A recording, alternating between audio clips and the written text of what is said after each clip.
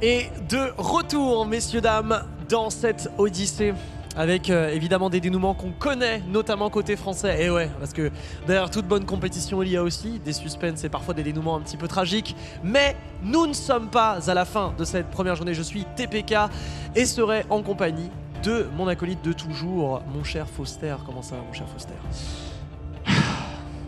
À la fois ça va parce qu'on est quand même à l'Odyssée et c'est un événement qui aujourd'hui est des plus fantastiques. Ouais. Chaque match est intense, chaque match te fait re-réfléchir aux différents choix de ta vie, notamment à ceux de voir tes compagnons français tomber les uns après les autres. Et pourquoi tu as choisi ce métier comme étant eh bien, une route de plaisir alors qu'au final aujourd'hui c'est un calvaire. Ouais. Donc au final une journée en demi-teinte, mais qui j'espère va se conclure par une bonne nouvelle. On va ça, ça va se conclure sur une bonne nouvelle, on l'espère en tout cas puisque eh bien les quatre joueurs de ce groupe sont assez, je dirais, accrochés. Alors il y a deux japonais dans ce groupe, il y a un français qui va rester et c'est, j'ai envie de te dire, probablement la der- le dernier espoir. Et il y a surtout un ultime européen, voilà, puisque eh bien ils composeront de fait ce groupe, un groupe qui est franchement, on ne sait pas dire avec exactitude qui pourrait euh, ne serait-ce qu'être deuxième. Non, tout à fait, et pas uniquement que nous deux, hein, mais véritablement tous les différents joueurs qu'on a pu interviewer hier durant eh bien, justement le Media Day. On leur a posé la question à votre avis, qui va l'emporter? Ouais. Qui sera dernier de cette compétition? Tous autant qu'ils sont, on dit en fait pour les autres, on a une tête d'affiche et un dernier clair. Ici, c'est impossible. Tout le monde peut battre tout le monde.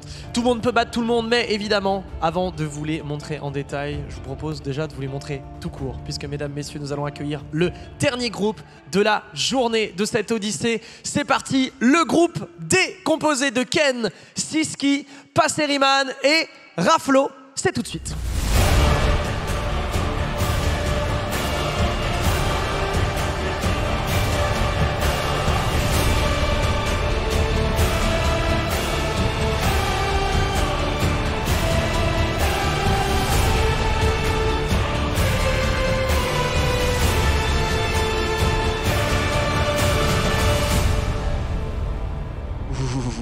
Guerriers sont là, installés, alignés bien confortablement. Raflo, Siski, Ken et enfin Passeriman.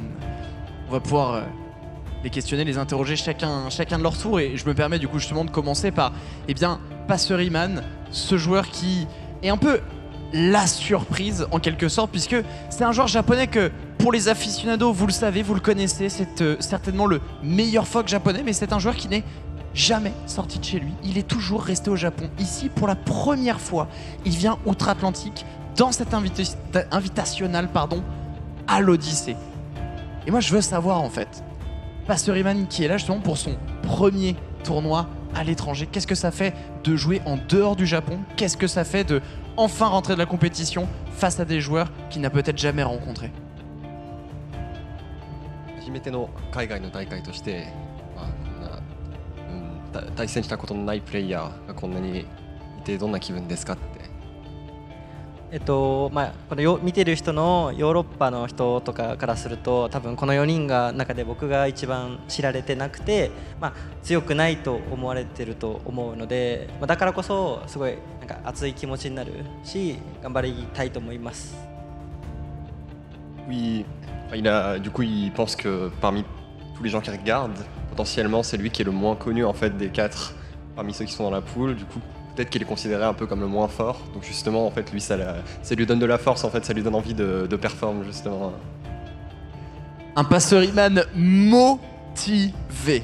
Absolument motivé. Et c'est ça qu'on a envie de voir justement. Alors de l'autre côté, euh, il est aussi connu en fait outre-Atlantique. Il est connu au Japon. C'est un joueur d'un rare talent. Euh, évidemment recrue BMS. C'est notre dernier Français en lice aujourd'hui pour cette première journée. Évidemment, il y a de la famille BMS qui sont dans les gradins puisque là les gradins sont bien vides. Demain, ils seront évidemment pleins. Mon cher Raflo. Raflo, euh, aujourd'hui, t'es le dernier français dans la compétition. Flo, Orion, Gluttony, malheureusement, ne feront pas partie du bracket demain. On t'a briefé un petit peu, on t'a dit aujourd'hui. Quel que soit, quels que soient tes résultats, tu joues pour toi. Tu joues pour toi aujourd'hui? Aujourd'hui, je joue pour moi, un petit peu pour la France quand même, mais euh, le but, c'est d'être le, d'être le premier de la poule. Je vais tout donner. Tu vas tout donner. Et c'est à ça qu'on le reconnaît en tout cas. Il y a ton Seyo, Alex, là, BMS, qui est là. On, on a un petit message peut-être. Je t'aime, Alex Ça, c'est des beaux messages. C'est des beaux messages. On va pouvoir aussi euh, s'intéresser du coup à Ken qui euh, lui a énormément voyagé. Ken il était là déjà depuis Smash 4, on l'a vu notamment à des Syndicate et autres, il a tapé énormément de joueurs et du coup moi c'est sur cette question que je vais, l'interroger justement. On sait que cette poule est excessivement stack, excessivement serrée. Comment lui qui a vécu l'évolution de la scène compétitive depuis Smash 4 jusqu'à Ultimate, comment il a senti cette évolution? Et est-ce qu'il pense qu'aujourd'hui l'Europe est beaucoup plus dangereuse qu'elle ne l'était avant ou au final euh, c'est la même chose? さんの方は、まあ、ずっと前からスマッシュ4からでも、まあ、なんかいろいろ回ってて海外にも来てもらって来てくれて。えっとまあそのその時期から、まあ、そのスマッシュシーンなんかインターナショナルなスマッシュシーン海外のスマッシュシーンの、まあ、進行っていうか進化を、まあ、見ることができた身として今のこの大会このプールの、まあ、まあ、ヨーロッパがなんかどうなんだろうそのどう見ていますか？って強さ的には。いや、えーなんか少なくともスマッシュ4の時には、ヨーロッパで強い選手って、まあ、正直自分も数人しか知らなかったんですけどもコロナ禍の後から、まあ、去年の後半あたりからはもうヨーロッパの選手でもどんどん強い選手が出てきていて本当に世界中どこ行っても強いなと思っています。はい Euh, du coup, ouais, la dernière fois, en fait, qu'il était- enfin, la, la fois où il était venu euh, dans Smash, pour Smash 4 en Europe et tout, euh, en fait, il connaissait pas très bien la scène, il connaissait pas très bien les joueurs, mais, euh, mais récemment, surtout vers la fin de l'année dernière, il dit qu'il y a plein de, de joueurs forts en fait qu'il a pu voir, genre qui, qui sont apparus en fait en Europe. Donc, euh, ouais, il pense que en vrai, dans le monde entier, ça commence à, à step up en fait. Je te remercie Scary, Scary euh, au taquin pour pouvoir nous fournir des traductions de japonais, sinon on était foutus. On était foutus, c'est clair. Celui-là, on va pouvoir la faire l'interview euh, classiquement. Siski, so you are among the very last remaining European hopes today. How do you feel about the upcoming matches? Because you have two really tough opponents, right? Being obviously from Japan, and one very tough opponent that you know now, right? So, how do you feel about the upcoming matches? Uh, I'm very hyped uh, to play this. Uh, as I said before, I think it's gonna be super hard, but I can beat everyone. I don't know, but I can lose to everyone too. So I have to be super careful. I'm uh, hyped to play against them, uh, scared at the same time. I'm just gonna have fun and learn a lot. Donc la question était simple, hein, vu que c'est l'un des seuls talents européens qui reste aujourd'hui, deux euh, adversaires de taille évidemment japonais, Passeri Manken et un autre adversaire de taille, mais qu'il connaît cette fois-ci, puisque bah, bah, et Siski travaillent ensemble, ils jouent ensemble, ils étaient en train de jouer aux cartes hier, figurez-vous, pendant le Media Day, vous dire à quel point ils sont à l'aise. Mais évidemment la réponse est unanime et sans appel. On va essayer de s'amuser parce que là, il est au courant hein, que cette poule est quand même assez relevée. Quoi qu'il arrive, il va essayer de prendre du plaisir. C'est là où il est le meilleur pour notre brave Siski. En tout cas, vous l'avez compris, c'est donc une poule exceptionnelle qui nous attend de force japonaise, de force européenne. Et je vous propose de commencer par le premier match, tout naturellement. C'est parti Lançons-nous, lançons-nous dans le premier match. Euh, je te laisse justement récupérer ceux qui ne restent pas sur scène, ceux qui sont euh, préparés à jouer, installez-vous. Et euh, écoute, un Oui. point qui est intéressant d'ailleurs, le temps que les joueurs puissent Oui, les joueurs s'installer. Ceux qui ne jouent pas évidemment le premier match. C'est vrai que ceux qui ne jouent pas, vous pouvez, euh, vous pouvez, euh, y aller. Un point qui est vachement intéressant, d'ailleurs, c'est qu'en fait, on a cette force européenne avec nos deux joueurs, évidemment euh, français et espagnols, d'un côté, et cette force japonaise de l'autre. Et le truc, en fait, c'est qu'il y a très peu d'interaction entre les deux, au final, quand tu regardes Ouais. les différentes rencontres. C'est que, genre, Raflo Siski se sont rencontrés à peu près 8 fois, Ouais. avec un petit 5-3 euh, côté, euh, côté BMS. Faisons ça 6-3. Et de l'autre côté, pour eh bien, Passeriman et Ken, ils se sont rencontrés déjà 4 fois également. Alors là, par contre, avec un 3-1 côté Ken, Ouais. selon euh, nos, euh, nos statistiques. Euh, du coup, c'est super intéressant. Parce qu'en fait, on a juste Siski qui a fait une game avec Ken à un moment où il y a eu un 0-1, ça s'est littéralement arrêté juste là. Ken a eu l'antécédent, donc très bien, mais jamais eu d'autres rencontres. Passeriman, c'est la première fois qu'il vient du coup ici en Europe. c'est vrai. Raflo Ken, ça ne s'est jamais joué, jamais joué jusqu'à Maintenant. maintenant, puisqu'ils sont installés. Et c'est ça le point excitant de cette poule, c'est qu'on a deux paires qui se connaissent très bien, mais le milieu de tout ça, c'est le chaos. Comment on fait pour euh, mixer ces talents les uns avec les autres? En tout cas, on va commencer, du coup, tu l'as dit, par un premier match rencontre franco-japonaise. euh, puisque là, il va s'agir de Ken et de Raflo. Si vous venez de nous rejoindre et que vous n'êtes absolument pas au courant des résultats de la journée, sachez que malheureusement pour la France, nous ne brillons pas. Per- malheureusement, Gluttony, Flo, Orion, personne ne passe en braquette pour demain. Ce qui veut dire qu'il n'en reste qu'un seul talent et c'est Raflo. Raflo, joueur de Palutena devant l'éternel, joueur de Samus également, hein, qu'il peut pouvoir brandir si toutefois euh, le besoin s'en faisait ressentir. Mais de l'autre côté, côté Ken, eh bien on joue un personnage, même deux en vérité. Le premier étant Sonic, Sanic, littéralement. Et Sephiroth en second si toutefois on en ressentait le besoin. A priori, euh, pour l'instant, on devrait pouvoir sécuriser le Sonic pour commencer.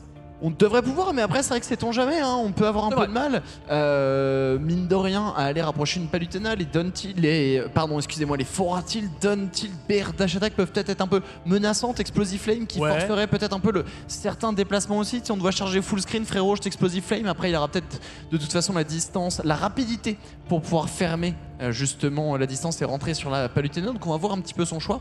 Ouais. Quoi qu'il en soit, en effet, Sephiroth, ce qui est bien, c'est que ça peut jouer un espèce de mid-range et de toute façon gagner. Faut juste éviter que l'adversaire se déplace un petit peu trop et on peut le maintenir de loin avec euh, eh bien, euh, cette range gigantesque. Ouais. Si les joueurs toujours sur la sélection de stage, les personnages ne sont pas encore assurés. Sachant que Raflo a un gros problème contre Sephiroth. hein. Euh, on en parlait justement ce matin avec euh, Black Bigo, mais c'est vrai que déjà euh, Raflo, on va dire qu'il y a un problème de match-up évident. On en reparlera notamment dans son match-up contre Passerryman. Mais Ken, s'il joue Sephiroth, dans ce cas, on est un peu mal. Si bah il décide de jouer Sonic, et je vois à ton regard qu'a priori, ça va être le Sephiroth de choisi. Donc Ken est au courant de la faiblesse de Raflo, à savoir que ce personnage peut poser problème. Hein, on a un joueur, hein, maintenant commentateur slash créateur de contenu IB, n'est-ce pas, qui avait déjà malmené euh, d'une force assez prodigieuse Raflo avec son Sephiroth, ce qui veut dire que sur cette première game, messieurs dames, nous avons la Palutena signature de Raflo face au second personnage de Ken, à savoir Sephiroth. Ouais, après, est-ce qu'on peut véritablement parler de second quand on voit euh, autant ce, qu'est- ce Sephiroth, pardon, que ce soit au Japon ou aux États-Unis hein, On pense au glitch notamment où il l'a eh bien, sorti moult fois pour arriver notamment à la 9 position de ce tournoi américain. On arrive tout de même à sortir euh, s'extirper de cette situation de lèche là-dessus. Petite ride d'air dodge, ok. On a un flow déjà qui eh bien, se laisse déjà aller à la lecture, mon cher TPK. Ouais, ça, c'est la, la lecture, effectivement. Bon, là, malheureusement, on va manger Baker. Donc, cette plaie derrière, neutral B. Ça, c'est dommage, c'est beaucoup de dégâts. C'est pas grave, on est dans la prise de repère pour Aflo. Ken, lui, du coup, prend les informations. Hmm, ça a l'air d'être malléable. Il a l'air d'être peut-être euh, un petit peu fragile mentalement, ce Raflo en début de game. Et d'ailleurs, la lecture est totale. Et cette lecture, elle est pas simple à avoir parce que généralement, Raflo a plutôt a, a tendance à aller vers l'intérieur du stage. Là, cette fois-ci, sur l'extérieur. Ouais, je suis d'accord, mais je pense qu'on n'était pas exactement sûr c'est de quel coup on allait prendre. Enfin, je sais pas, on n'était pas pas assuré, je pense. Tu l'as dit, potentiellement un peu un peu fébrile là-dessus. On s'attendait peut-être un peu plus au Sonic qu'au Sephiroth. On est peut-être un peu pris par surprise là-dessus. En tout cas, pour le moment, on arrive tout de même à trouver une ouverture, reprendre un minimal contrôle. Joli cette dash attack en sortie. Et bien, après le down tilt en situation de ledge trap, le contrôle est toujours là. On va rater l'edge. Et au final, c'était peut-être pas aussi explosif qu'on l'attendait, mais on arrive à rééquilibrer au niveau des stocks et avoir seulement 20% de retard. Ouais, c'est pas mal ça, 20% de retard en plus.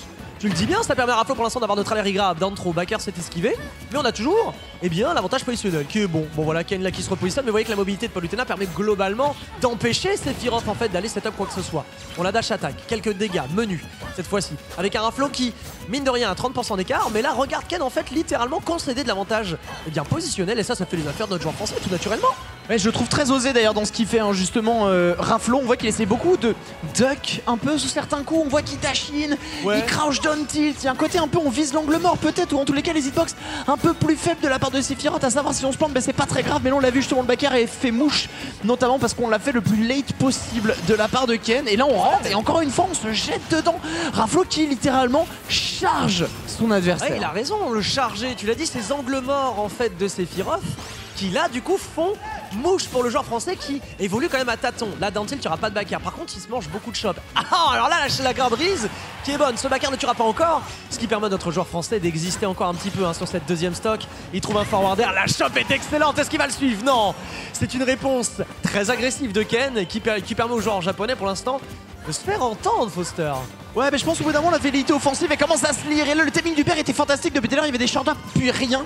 Et au final, l'input au bout du troisième, je crois, ce qui justement commence à faire comprendre aussi que Raflo est dans l'attente et surtout que les coups ne vont pas venir ouais. sur lui tout le temps. Là, Ouais. le spacing est fantastique, on l'a trouvé, on l'aura tué et on a toujours eh bien, cette troisième aile de sortie pour notre Bunken. Ouais. Alors, Sephiroth est un personnage léger, donc c'est-à-dire qu'à 97%, euh, dans, bon, down throw back air au ledge, ça pourrait faire l'affaire. Mais Ken, j'ai pas l'impression qu'il soit tout à fait du genre à se laisser avoir par un down throw back air. Donc, ah, attention, par contre, là on a les grab. Voilà, les punir. Non, voilà, il savait qu'il allait pas avoir la shot, donc il a tenté un léger back air en contre-timing. Down throw, explosive flame. Est-ce qu'il va aller chercher dehors? Raflo reste mesuré au ledge. Il a raison, a priori, puisque là pour l'instant c'est toujours lui qui a l'avantage positionnel. Mais Ken, qu'est-ce qui se défend bien Défensivement, pour l'instant, ça a l'air d'être une forteresse impénétrable. Voilà le contre-temps sur la dash attack. C'est pas encore ce qu'il faut pour aller chercher la stock, mais il y a de bons signaux côté français. Ouais non mais clairement clairement clairement ça pareil hein, le spacing est absolument fantastique on a la dash attack toujours pas assez pour tuer certes on n'aura pas eh bien la position d'avantage pour pouvoir arriver à véritablement arracher et finir cette stock mais là où vas-tu les gamins où vas-tu? On va aller le masser avec ce bouclier sur ce gros bear et au final Ken qui défensivement est solide n'a pas réussi Ah. à s'exerber cette situation explosive flame un Ah. air sur place un deuxième et on arrivera Ah. à s'en sortir à dodge consommé mais le contrôle est bel et bien dans les mains du joueur de chez BMS Ouais, ouais, ouais, ouais. En plus là, je ne sais pas si vous pouvez l'entendre chez vous, mais en tout, du moins, euh, tout du- en tout cas, pardon, BMS qui donne de la voix dans les tribunes et c'est ça qu'on a envie d'entendre, puisque malgré le fait que nous n'ayons pas forcément beaucoup de public, et ben je peux vous garantir que Alex Noceio est en train de tirer pour son prodige. Pour l'instant, certes, on a un raflo derrière d'une trentaine de pourcents, mais c'est un raflo qui tient bon. On est déjà dans une last stock situation. Ouais, ouais, ouais, ouais, ouais, ouais, et surtout à très haut pourcentage. Heureusement, probablement l'aile n'est toujours pas sortie, donc ça peut peut-être faire un peu les affaires. Mais pendant combien de temps C'est chargé, c'est tiré, faut lâcher, Bien la joué. roulade est prise, mais la, la, la rite n'était pas présente côté Ken. On trouve quand même la chope par contre derrière, on maintient encore une fois le contrôle et on va gratter. C'est aussi le jeu de Ken, de toute façon, on a l'habitude avec Sonic, hein, ça fait déjà 5 minutes que la partie est en train de se dérouler. Et pourtant, les actions continuent de s'enchaîner, mais Ken, s'il devra finir sur le temps, il finira autant, il n'y a pas de problème là-dessus. Les pourcentages vont grimper petite à petit, il n'est pas pressé de voir sa victoire. Ouais, ouais, ouais, il il a raison. En plus, il a beaucoup conditionné au back air. Donc ça fait que là, il mange beaucoup de shots, malheureusement. Dash attack. Ouf, on va frôler la blast là-dessus. hein. On a failli faire qu'un. Attention à ce neutral B. Et là, malheureux. Mais on a failli, failli, failli. Malheureusement, vous concédez cette dernière stock pour Aflo, il est encore en vie. Neutral air. De Ken, très bien, qui se repositionne. Il va pas jouer avec son neutral B. Il va plutôt jouer avec ce back air, mais malheureusement, il ne tiendra jamais. Parce que la dash attack va le prendre de vitesse. C'était punition là-dessus, back air. Oh, le peut-être temps fort du joueur français qui se repositionne et l'avantage positionnel. Là, de l'air dodge est consommé. C'est un neutral air en late. On force le double saut. Malheureusement, c'est un back air qui viendra s'interposer. C'est un Raflo qui lutte. Le back air du bout de l'épée, malgré un up smash vraiment intelligent. On a tous les ingrédients sur le papier ici. À noter quand même, à noter, alors ça c'est peut-être le truc qui va contredire ce que je viens de dire, mais que la première stock de Ken, c'était pas forcément Raflo qui l'avait prise, c'était plus une erreur d'Exe qui avait coûté la stock de Ken. Donc y a- autant il y a plein de choses bonnes défensivement de la part de Raflo, il y a aussi le fait qu'il se fasse beaucoup trop conditionner au back air et qu'il mange des dash grab. Ça, parce que du coup il, avance, il shield, il a peur du back air, bah non c'est shop. Très bien. Et là bah du coup, tu vois qu'en situation de pression intense, Ken a le dessus. Ouais, le problème en plus, c'est que tu le vois sur toute la dernière stock aussi, hein, c'est qu'au final, on n'a pas vraiment réussi à dicter son jeu. On s'est fait monter à 170% Ouais. sans arriver véritablement à se faire entendre de la part de Raflo. On n'arrivait plus vraiment à tourner autour. Et en fait, il y a un truc, c'est que Raflo n'a quasiment jamais utilisé les plateformes. Il a toujours pris l'horizontale. Est-ce qu'il a peur, trop peur peut-être de le perdre? En tous Ouais. cas, on parlait justement d'angle mort, mais au final, il ne va jamais par au-dessus. Peut-être qu'il respecte un peu trop ce coup, ce qu'il comprend, parce que véritablement, le père, il, le père, il a une range qui est absolument gigantissime. Tu on ne va pas véritablement le contester. Ouais. Ici, pourtant, on a essayé de le bait pour la première fois, mais sinon, on reste au sol. On y va vraiment très frontal. C'est le forward air ou le bear. Et pour le moment, Ken n'a pas besoin de plus ni de moins. Et retour sur Battlefield de fait. hein. Ju- Justement, ce jeu avec les plateformes, le voici, Tomahawk. Avec le side B pour forcer l'air dodge, toujours un Raflo en position de force, même s'il devra concéder un tout petit peu de temps et de territoire justement. Avec ce forward air, on retrouve une shop ici hein, pour Ken qui a, je sais pas quel est le taux de succès hein, sur ses shops, mais alors elle est terriblement élevée. Et c'est rare, hein, véritablement, surtout contre un Raflo qui est usuellement euh, très mobile, euh, très dans le short top, vraiment très dans la présence aérienne. Et ben non, il arrive à manger quand même pas mal de shops. Backer ici, et là l'écart se creuse dangereusement pour le joueur français. Ouais, puis en plus, c'est dommage, on a raté une, on a raté une shop justement. Enfin, Ken rate une shop et justement, on n'en a pas profité pour véritablement le punir. On a quand même la position, on a un joli backer, ok, très bien. Pour combien de temps peut-on véritablement le coincer là-dessus Il y a un regrab d'edge, mais évidemment, on peut pas vraiment aller le choper. Et la Ken, pour le moment, est en train eh bien, de s'amuser, de prendre son temps. Il n'y a pas de problème là-dessus, c'est aussi la force justement Ouais. de ses ferrantes avec sa grande épée, son fer, la capacité qu'il a hein. de dépasser avec cette épée. D'un coup d'un seul, il reprend le contrôle et là, c'est compliqué. Une lecture d'Erdge, ça va plus loin, mais des dash attack, il s'en est pris tellement qu'enfin, il va pouvoir donner la sienne et la sienne, celle de Sephiroth. Qu'est-ce qu'elle fait mal Ah ouais, et puis up tilt pour forcer, derrière dash attack en couverture, vraiment. Là, c'est du parfait. Ce que nous a proposé Ken, la copie est pour l'instant excellente. Tentative de dash grab avortée pour un Raflo qui là, euh, comment est-ce qu'on fait? Comment est-ce qu'on fait pour trouver la stock? Parce que ah bah voilà, bah peut-être qu'il s'agit juste de faire un upper. Tu vois, moi je me concentrais un petit peu plus au ledge. Je visualisais le jeu au ledge habituellement très très fort de la part de Raflo. Là, on mange upper bagarre, ça c'est très bizarre. Mais bon, comme ça, ça passe. J'ai l'impression que la prise de stock a été un petit peu plus simple. Et là, c'est les embrouilles qui commencent. Attaque Palutena, voilà, neutre alert, le troisième ou pas? Non, late active, tout le monde, late frame active. Pour le troisième neutre mais ça fait des dégâts. Ouais, des dégâts, mais le problème c'est que pas assez, hein, pas assez, bien au contraire, parce qu'on continue à se faire un peu avoir. Et là, même si on trouve un coup, on gagnera pas forcément énormément de terrain. Faut parvenir à trouver eh bien une excellente phase, un coup bien spécifique, potentiellement en air pour continuer de faire builder un peu tout ça. Mais là, on le voit, on essaie de mettre la pression, on laisse peut-être un peu s'en sortir. La jolie pour couvrir l'atterrissage sur la plateforme, la raison pour laquelle on va, notamment sur Battlefield, justement conditionner un peu les mouvements. Et là, pour le moment, on est relativement bon là-dessus. Où est-ce que tu vas, Ken? Ken, on voit qu'il essaie de feinter un saut double saut air dodge, revenir sur le sol. Et enfin, ce forwarder en retreat. On trouve cette fameuse shop dont tu nous en parlais, mon cher TPK. Et là, le contrôle est encore fantastique. On essaye hein, d'aller contester Ah bon un peu. Ça, par contre, je sais pas d'où ça passe, mais écoute, on prend. Ah bon Très bien, neutre alert Alors que le bouclier s'amenuisait, c'est l'occasion de chill poke, down tilt, on a la suite ou pas? Non, c'est un neutre. Ça c'est juste un get off me, tu vois, ça fait pas non plus des dégâts, c'est juste pour dire encore la shop qui vient passer. On charque, hein. bon là il fait bien, hein, le bravarda d'aller euh, prendre de l'espace sur la droite, down throw, on attend quelque chose, upper, c'est bien fait, allez encore upper peut-être, c'est la fête au upper mais ce n'est pas encore la deuxième stock qui vient. Ah ouais, d'ailleurs la deuxième stock, elle peut peut-être être ici parce que là le joueur japonais, il a l'air d'avoir les idées derrière la tête, à savoir de couvrir les options. Il a montré son dos pour une dash attack en prévention. Le joueur japonais est réveillé. Ouais, clairement, il était prêt. hein. Il était prêt pour le mix-up de euh, téléportation là-dessus. Il s'est pas du tout fait impressionnant. En tous les cas, on a vu des belles rides hein, de la part de Raflo. Tout de même, notamment, je pense, les EPR, on a appelé des deuxièmes sauts, on a appelé de belles choses. Toujours pas assez pour avoir le kill. Cependant, là, c'est dommage de pas réussir à punir ça non plus. On a la roll, mais on est un peu en retard encore une fois. Et on s'est pris déjà des backers sur eh bien, des moments où on était un peu fébrile sur des spot dodge. Et là, pour le moment, Ken ne prend plus. Ken ne mord plus à l'hameçon. Bien au contraire. C'est lui la canne à pêche là-dessus. Et au final, c'est peut-être Raflo, juste le tout petit verre qui est au bout de cette Oh, oh. Encore une shop, on est off stage. La boule n'est pas chargée, la feinte est bonne, mais le delay à l'edge était solide de la part de Raflo. Oh ouais, mais là les dégâts mentaux, psychologiques infligés par Ken. Attention, cette couverture qui pourrait bien être la dernière. Raflo qui joue bien avec le ledge. Oh là là là, c'est passé à un cheveu.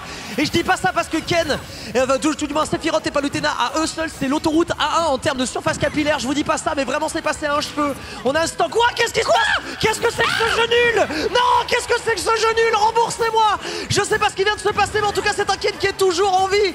Envie de me foutre en l'air là-dessus, mais c'est pas grave. Pascarda est encore en vie. Est-ce qu'on va vraiment pouvoir aller chercher une stock? La dash attaque, mais celle-là ne tuera pas. Qu'est-ce que c'est difficile? Qu'est-ce qu'on n'arrive pas à aller chercher cette deuxième stock? Non, c'est la même que par rapport au match précédent. Malheureusement, en fait, on n'arrive pas à le tuer, ce Ken. On a tellement du mal à l'approcher qu'on trouve un coup par un coup, mais ça s'arrête là. Une explosive flame. Enfin On va servir des projectiles lorsqu'on est au sol. On va prendre cette stock, mais bon, 140% tout de même. Ça peut être un mauvais backer, une mauvaise dash attack, une mauvaise DI. Et on pourrait déjà arrêter là les espoirs pour Oh, Garaflo bat allez. Ken. Mais enfin, Deuxième. attention, la machine à laver, on est parti. Double nerf, le side B, l'explosive flame qui va Ouais. toucher Air Dodge qui ne sera malheureusement pas couvert. Juste ensuite, niveau l'atterrissage, on a un Ken bien solide de ses appuis. On passe ça. derrière, le shield est bon pour le moment de la part de Raflon et on va le chercher, on le chasse. Enfin, on arrive eh bien, à mener une offensive qui est solide. Les coups montent, tout ça touche. On prend ses bêtises et là, on la corner. On la corner, attention tilt, ça c'est pas mal, c'est un temps fort pour le joueur français. Il y a le One Winged Angel qui est positionné, attention parce que là down tilt backer, ça serait la fin des haricots pour Ken et ça voudrait dire une égalisation. La dash attack, elle est pas du tout consommée. Il est très très fort Raflo là-dessus, contre-temps ici parce qu'il habitué. Comment ça s'habituer défensivement à ce que le japonais peut proposer Forwarder, ça ne tue pas encore. 50% les sépare, il y a beaucoup de rage effect. Il a été coiffé au poteau là-dessus, le joueur japonais. Malheureusement, attention à la péniche sur la dash attack, est-ce qu'il est vraiment en train de signer ce comeback? Il y a peut-être un EPR, le joueur français qui se fera encore surprendre par ce Forwarder. Il y a 50% qui les sépare, le joueur japonais pour l'instant est tout à fait à l'aise sur ses appuis. Mais alors Raflo est en train de le faire tourner en bourrique, quoique l'air, on est encore en train de flirter avec la blazone. Et Ken, j'ai l'impression qu'il est un petit peu moins sûr lui. Et si, et alors si ça doutait, et si ça doutait, alors peut-être Melbaker viendra faire le reste.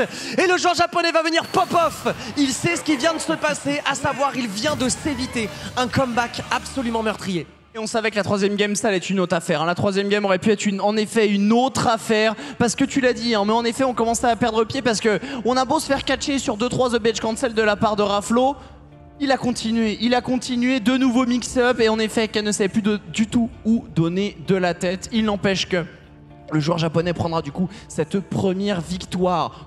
2 0 là-dessus, prendra son premier point dans ce groupe D, ce groupe de la mort, ce groupe où tout le monde peut battre tout le monde et je pense que déjà ce premier set vous a donné eh bien l'odeur, le goût.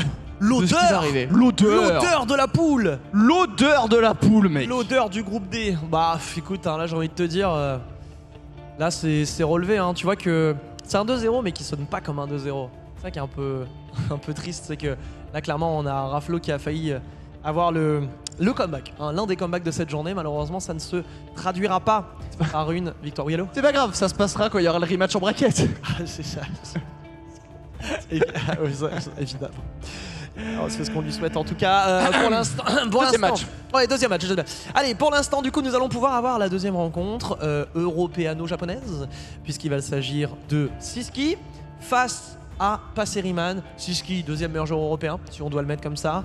Et Passeriman, on l'avait dit hein, tout à l'heure, mais l'un des joueurs japonais peut-être qui se déplace le moins finalement. Donc c'est-à-dire que tout est à faire pour lui. Bah, en fait, c'est la première fois qu'il débarque en dehors du Japon. C'est littéralement sa première sortie en dehors du territoire japonais. Donc en fait, c'est la surprise la plus totale. On a eu de la chance, il a fait une weekly il y a pas très longtemps, euh, là, euh, cette semaine à Paris, le Last Hit. Ok? À fait. On se dit, c'est cool, on va récupérer des infos. Problème étant, il se fait upset par Niros de 0 et il tombe sur un Simon en loser, il meurt. Donc en fait, au final, on n'a récupéré absolument aucune info. Merci de rien, BMS, malheureusement, d'avoir fait cet upset en tournoi. Et du coup, on n'est même pas sûr de quoi il va être capable. Un truc par contre qui est sûr, c'est que dans cette même poule, il y a un joueur qui est persuadé que Pasteur Iman est le joueur qui va partir avec la coupe.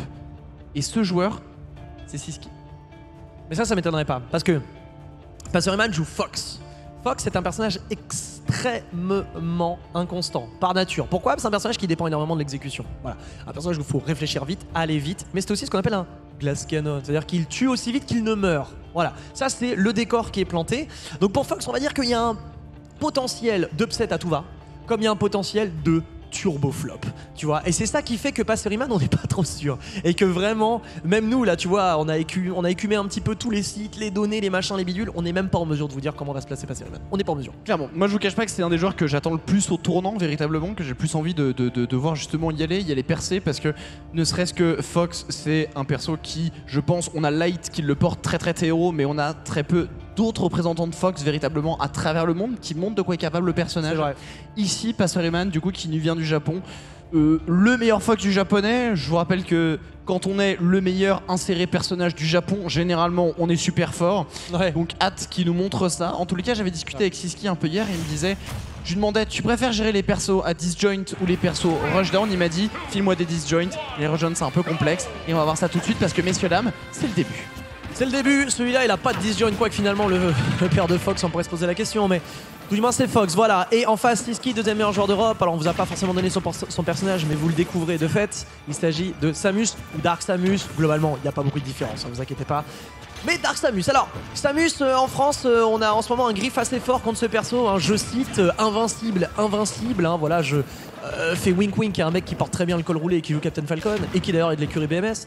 Mais pour l'instant, du coup, on sait que Samus, ça va être un temps fort contre BMS tout à l'heure, parce que Raflo devra l'affronter, notre brave Siski, tout comme il devra affronter Passeriman. Les yeux sont donc rivés sur les écrans, et tout ce que je peux vous dire, c'est que pour l'instant, c'est un Passeriman qui a l'air d'avoir une trentaine de pourcentage d'avance.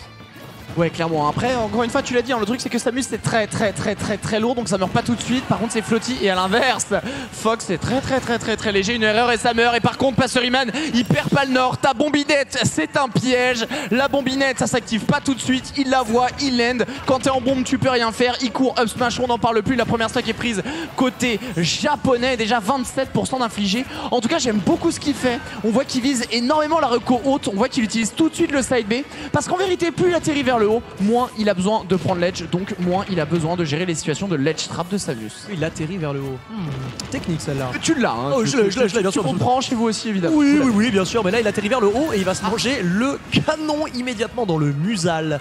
Voilà qui ne fait pas les affaires de Passeriman quand même. Bon, 67%, désormais 83, ça fait quand même beaucoup. On sent quand même que Siski réadapte, tu vois, jab, ça j'adore. Il voit le jab, il appuie, il a raison, c'est un mytho. On peut pas faire jab et euh, jab 2 derrière, c'était impossible. Passeriman très alerte. Et c'est aussi avec ça qu'on peut se dire que Passeriman, euh, en fait, ne va faire aucun, aucun quartier dans ce groupe. C'est que quand tu es à ce point réactif sur un jab de Samus en tant que Fox, c'est un signal envoyé au monde entier. Ouais, clairement. hein. Puis euh, c'est un gros, gros créateur de contenu japonais, au fait, Pastor Iman, soit en passant. Enfin, en tout cas, je sais qu'il il, il a une bonne chaîne YouTube et il, il stream absolument tout le temps. Donc je pense Comme étoile. hein. Mais comme étoile Et regarde comme il est réactif. Là, cette fois-ci, par contre, c'était l'étoile filante de Samus Oh, l'a envoyé. Une météorite, c'est parti direct et toujours une belle avance de la part du joueur de Fox. Fox, que, comme on nous l'a très bien dit, malheureusement, en Europe, on n'a peut-être pas assez de représentants. Ouais, c'est vrai, Ryukai, What the Fox, hein, euh, voilà, on a Strix, on a Byron également en Suisse, hein, qu'on embrasse nos amis, nos amis suisses qui sont peut-être en train de regarder. Eh bien, ce, cette Odyssée, pour l'instant, ce qu'on peut vous dire, c'est que c'est un Passeriman qui a l'avantage positionnel. Et plutôt pas mal. C'est ce qui est au ledge. Bien, on reste mesuré. Par contre, ce neutral air là. Tu vois, Light aurait plutôt fait un barrage de backer. Passeriman opte pour un neutral air, c'est un autre style, mais ça sera puni. Ouais, je veux pas dire, mais Light, il aurait fait. T'as cette genre de commentateur, ça y est, Ouais, c'est ouais. comme ça. Ouais. Ah, quelle honte Light, il aurait pas fait ça En tout cas, pour le moment, ça survit. Le grab passe à côté. Beaucoup Bien. de B aussi qui, là, malheureusement, va tomber en plein dans le backer de Samuel. Tout à l'heure, c'était intéressant pour eh bien, mixer un peu, éviter certains projectiles, reprendre un peu le contrôle. Mais là, malheureusement, on va tomber dessus. Et sur une stock à une stock partout, c'est le moment le plus effrayant quand t'es Fox. Parce qu'en fait, tu sais que tu peux mourir à une ou deux interactions parce que malheureusement t'es léger, parce que t'es le glass cannon. Et tu peux tomber malheureusement sur la mauvaise face et juste mourir. Oh, il a pas très bien joué avec ce charge shot. Normalement, il décalait sur la droite. Shine, il forçait le saut. En tout cas, c'était euh, quelque chose de euh, imaginable. Voilà l'utilisation de Shine ici. Ah, dommage, c'est un raté prêté pour un rendu a priori, mais c'est un up B immédiatement. Up B, euh, move très intéressant que vous allez voir énormément dans ce groupe. hein. On vous expliquera pourquoi. Up air. Oh, attention, prise d'appui sur la plateforme. Il a l'air de vouloir le suivre. Passeriman, Passeriman qui a arrêté de jouer neutral air, qui a arrêté de jouer side B, qui reste patient, mais qui va se faire attraper dans les griffes de la Dark Samus. Et alors là, comment on fait? Bah, en fait, c'est Eh ça. bien, on fait ça ça. qu'on fait. C'est On ça. attend et on en tire. En fait, le truc c'est que Samus, c'est un personnage qui normalement dans les airs est pas très très pas très très fort. Alors c'est cool quand t'as le charge shot, t'as un peu de mobilité, tu peux avoir les bombinettes machin. Sauf que quand tu mets une bombinette, en vérité, ta bombinette elle est mytho, elle devient active au bout de quelques temps. Du moment que tu sautes, t'es flotti, tu peux pas vraiment atterrir face à un Fox qui a un up smash comme tu l'as vu, le plus Ouais. gros axe kick que t'aies jamais vu de ta vie. hein. Si jamais t'as vu la bêta de Street Fighter 6 il y a pas très longtemps, je pense que tu sais ce que c'est un somersault. Lui, c'est la version EX à peu près tout le temps, laisse tomber. C'est vrai. Donc ça tue immédiatement. Donc en fait, elle a pas le droit de sauter Samus. Non. Et on le voit. Dès qu'il est dans les airs, lui, il est bien au sol, solide sur les appuis, et c'est ben vas-y, presse le button. Ok, t'as de la range, sauf qu'en fait, du moment que t'es légèrement au-dessus, tes boutons, ils sont horizontaux. Le donner de Samus, elle a trop un gros start-up. Tu passes en dessous, tu punis. Et s'il y a une bombinette, je t'en parle pas, c'est punition immédiate. Oui, deuxième game en tout cas. Entière, va falloir les surveiller comme vient de nous le dire Foster. Va falloir très attention. Alors on est sur Holo Bastion, une map qui affectionne Siski tout particulièrement. Euh, puisque, eh bien, vous allez voir que ça peut aller très, mais alors très vite pour arracher la vie du malandrin qui viendrait se positionner devant euh, notre brave Pasterim, euh, brave Siski, pardon, puisque ça frappe comme un camion. Euh, Samus, vous avez pu le constater, et surtout la peur du charge shot fait que bah, si tu te manges la bonne ride au bon moment, c'est la mort et la fin des Haricals. Ouais, ouais, en tout cas pour le moment, on s'est pris quelques coups, on arrive tout de même à prendre un joli contrôle.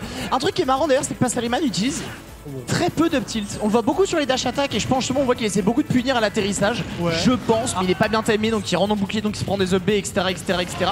Mais très peu de tilt de la part de, de Sfox finalement entière. Ici par exemple, encore il veut sauter. C'est pas la première fois où il veut sauter sur la Samus en allant la contester. Très joli charge là-dessus sur un relevé neutre. Et je me pose presque la question en fait, est-ce qu'il est pas en train de jouer avec le tap jump ce joueur et qui fait plein de sauts sans faire exprès? Je saurais pas dire.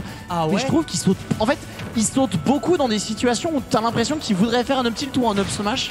Et je trouve ça étrange. Ah, très bien. Ah, les genres de tap jump, c'est-à-dire en fait vous mettez pas un bouton sur un saut, vous utilisez le stick directionnel vers le haut. Alors c'est une façon de faire archaïque, hein. là vraiment on est sur euh, on est sur des mecs qui ont encore des Nokia 3310 et qui échangent leurs photos via euh, infrarouge. Parle bien des mecs qui jouent avec le tap jump si je te prie. Ouais, oui, non mais bien sûr. non, ça mal se. Ouais, bien sûr. Euh, en tout cas, pour l'instant, une stock les sépare et c'est un Passeriman un petit peu moins sûr de lui. En même temps, il a mangé la sauce au ledge tout à l'heure. Donc en fait, bah, ça, fait, ça te fait perdre du terrain fatalement. Et là d'ailleurs, on a un B. Si tu continues d'appuyer sur ce même bouton, je vais continuer d'appuyer sur mon même bouton à moi. Passeriman, voilà, il vient de se mettre à mi-distance et il a arrêté. Il a fait bon. Vas-y, vas-y, joue, joue. Ouais, de ouf. Vas-y, joue, c'est bon, j'ai compris, j'en ai marre, je veux interagir, ça fonctionne pas. On va faire la même chose, tu appuies sur un bouton, je vais réagir, je vais up smash, on n'en parle plus, on régalise. Par contre, sans et quel pourcent, très agressif, Passeriman, hein, le saut de ledge, essayer d'attaquer. Ça passe pas, ça gros up tilt, axe kick sur la descendante justement en plein dans le front, ça dégage. Enfin un up tilt qu'on va pouvoir trouver, un air. Ah oui parce qu'aussi les hitbox qui vont aller contester un peu les explosions de la bombinette, ça peut te protéger comme on vient de le voir avec ce euh, neutral air. Bon déplacement de la part de Passeriman, mais on a un Siski du coup qui se met dans de très bonnes positions, très bonnes situations. Les pourcentages montent et attention, on est peut-être un peu trop aérien, on voit ici on se fait charquer un pas le joueur japonais qui a la dalle. moins qu'on puisse dire. Là, la punition ou pas Ouais, dash attack, on va valider ici. Attention, face de l'edge trap pour le joueur japonais. Découvrir ce qu'il fout là. Ça, c'est punition. Non, dash attack, mais il est encore safe, le joueur japonais. Donc, a priori, il se repositionne juste. Là, ça devient complexe hein, parce que s'il mange la moindre phase, c'est une allée simple pour le ledge. La voici. Ah non, pas encore tout à fait.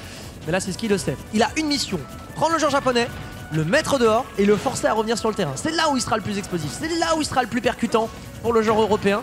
C'est peut-être sa chance, quoique Pasteriman est a priori bien alerte, neutralaire, et il se repositionne pour up smash. Ça, En plus c'est lourd, ça abuse donc de toute façon le nerf un peu sans spot comme ça, ça peut, te- ça peut se connecter juste derrière pendant méga longtemps et là tu reviens directement. Euh, frérot, tu as mis un charge shot sur la même relevée, moi je te mets un back air, c'est un peu plus stylé, y a pas d'embrouille là-dessus, on est reparti. Il a l'avantage au niveau du terrain, il se glisse sur le air, il trouve Ah, encore un, un up air, un jab peut-être un peu discutable, cette même dash attack qui va aller rentrer dans le bouclier permettra du coup à Siski de récupérer un peu de contrôle et mine de rien on n'a pas grand chose pour égaliser au niveau du set, ce qui pourrait être très bien au niveau de l'Europe, mais ce qui pourrait être aussi un message très fort de la part de Pasteriman par rapport à, on le rappelle, le, deux meilleur- le deuxième meilleur joueur européen aujourd'hui. Ah, c'est ça. hein. Là, les comptes euh, sont pas très bons. hein, si jamais on était en mesure d'aller chercher un 2-0 pour euh, Passeriman. Passeriman qui, encore une fois, dans son habitude, trouve des side B très en hauteur. mais Oh, malheureusement, cette ouais. fois-ci, tu ne pourras pas faire quoi que ce soit. Passeriman, très habitué hein, de cette option de recovery qui est pas mauvaise. Mais au bout d'un moment, euh, Mais au bout d'un moment, il faut rendez-vous arrêter de forcer. Il a forcé, il se fait manger. Mais nous allons pouvoir avoir le counter pick, la Tintin, sélection de stage pour euh, décider en vérité qui l'emportera dans ce BO3. Où va-t-il l'emmener En effet, on est ici hein, le stage manager qui passe justement le téléphone d'un joueur à l'autre pour eh bien, choisir, euh, choisir quel stage, où est-ce que ça va aller. Les bannons ont été faits, le pic également a été choisi et nous allons, il semblerait, sur Small Battlefield. Très bien. Euh, ce qui fait sens, mais pas du tout en fait. Pas du tout. Il est encore en décision. Je pense qu'il a vu justement, il a regardé les euh, différents bans qui ont été faits. On va pouvoir découvrir ça. Et si c'est bel et bien Small Battlefield, on, Ah. va, on va partir. Mais tu l'as dit en fait. Et c'est là où on voit qu'un passeryman qui a peut-être manque peut-être un peu d'expérience sur certains cas, peut-être ne connaît-il pas la pression. On rappelle son premier tournoi en dehors du Japon, C'est son premier invitationnel, le type premier invitationnel. Il arrive en France, on débarque, on fait frérot, tu joues au cirque d'hiver, c'est comment? Donc autant vous dire qu'il n'est pas chez lui du tout, il ne connaît pas la scène, il ne connaît pas ce genre de pression, je pense. Il est en pleine découverte, donc en effet, il abuse peut-être un petit peu trop des différentes habitudes. Et on, voit quand même que c'est un style radicalement différent que ce, que qui peut se faire typiquement du côté de Light. Hein, c'est vraiment un style particulier que nous propose Passeryman en termes de Fox. Bien. Allez, pour l'instant, du coup, un partout. On vous rappelle qu'on est en BO3. Celui qui l'emporte remportera Oh confrontation. Mon cher Foster, je te sens estomaqué. En fait, c'était cette dash attack qui a enfin touché, il l'a fait avec un délai. Il a couru, attendu, il l'a collé, puis il a fait sa dash attack. Ouais. Ce qui, du coup, bah, je pense, a peut-être fucked up un peu le timing de le B de la part de notre bon euh, Siski. Et du coup, ça l'a mis un peu dans le mal. On force la bombinette là-dessus, ça n'ira pas plus loin. Le shield qui est bon, on va catcher cette roulade et maintenant ça nom d'un chien. Ça connaît, il y a des pourcentages relativement indécents. Et évidemment, ça va tuer Pasteriman dans le lead. 96%. Cependant, te prends pas un charge shot bébé, sinon c'est foutu pour ta vie. Yes bébé 96% pour l'instant pour un Passeryman qui va pouvoir s'amuser tranquille. Là vraiment on est à la maison, on fait juste grimper les pourcentages, il a raison. Oh tentative de Shan, alors ça, si ça avait fonctionné, euh, c'est ce qui se sabordait dans la frame. Pour l'instant quand même, des frames il va commencer à en manquer parce que si jamais, si jamais le joueur japonais permet- euh, se permettait d'aller chercher la deuxième stock comme ça, ce serait un lourd retard. Heureusement qu'on trouve le forward tilt du bout du talon. Si tant est que Dark Samus ait des talons, mais il me semble que oui. Non, Tout à fait. je dis des bêtises. Elle a des talons Elle a des talons. Elle a des talons très Enfin, bien. de, de- ouais, enfin comme toi, t'as un talon. Ah oui, non, mais moi je te parle des loups bouffes. Quoi Elle n'a pas de- 153%. Ça marche.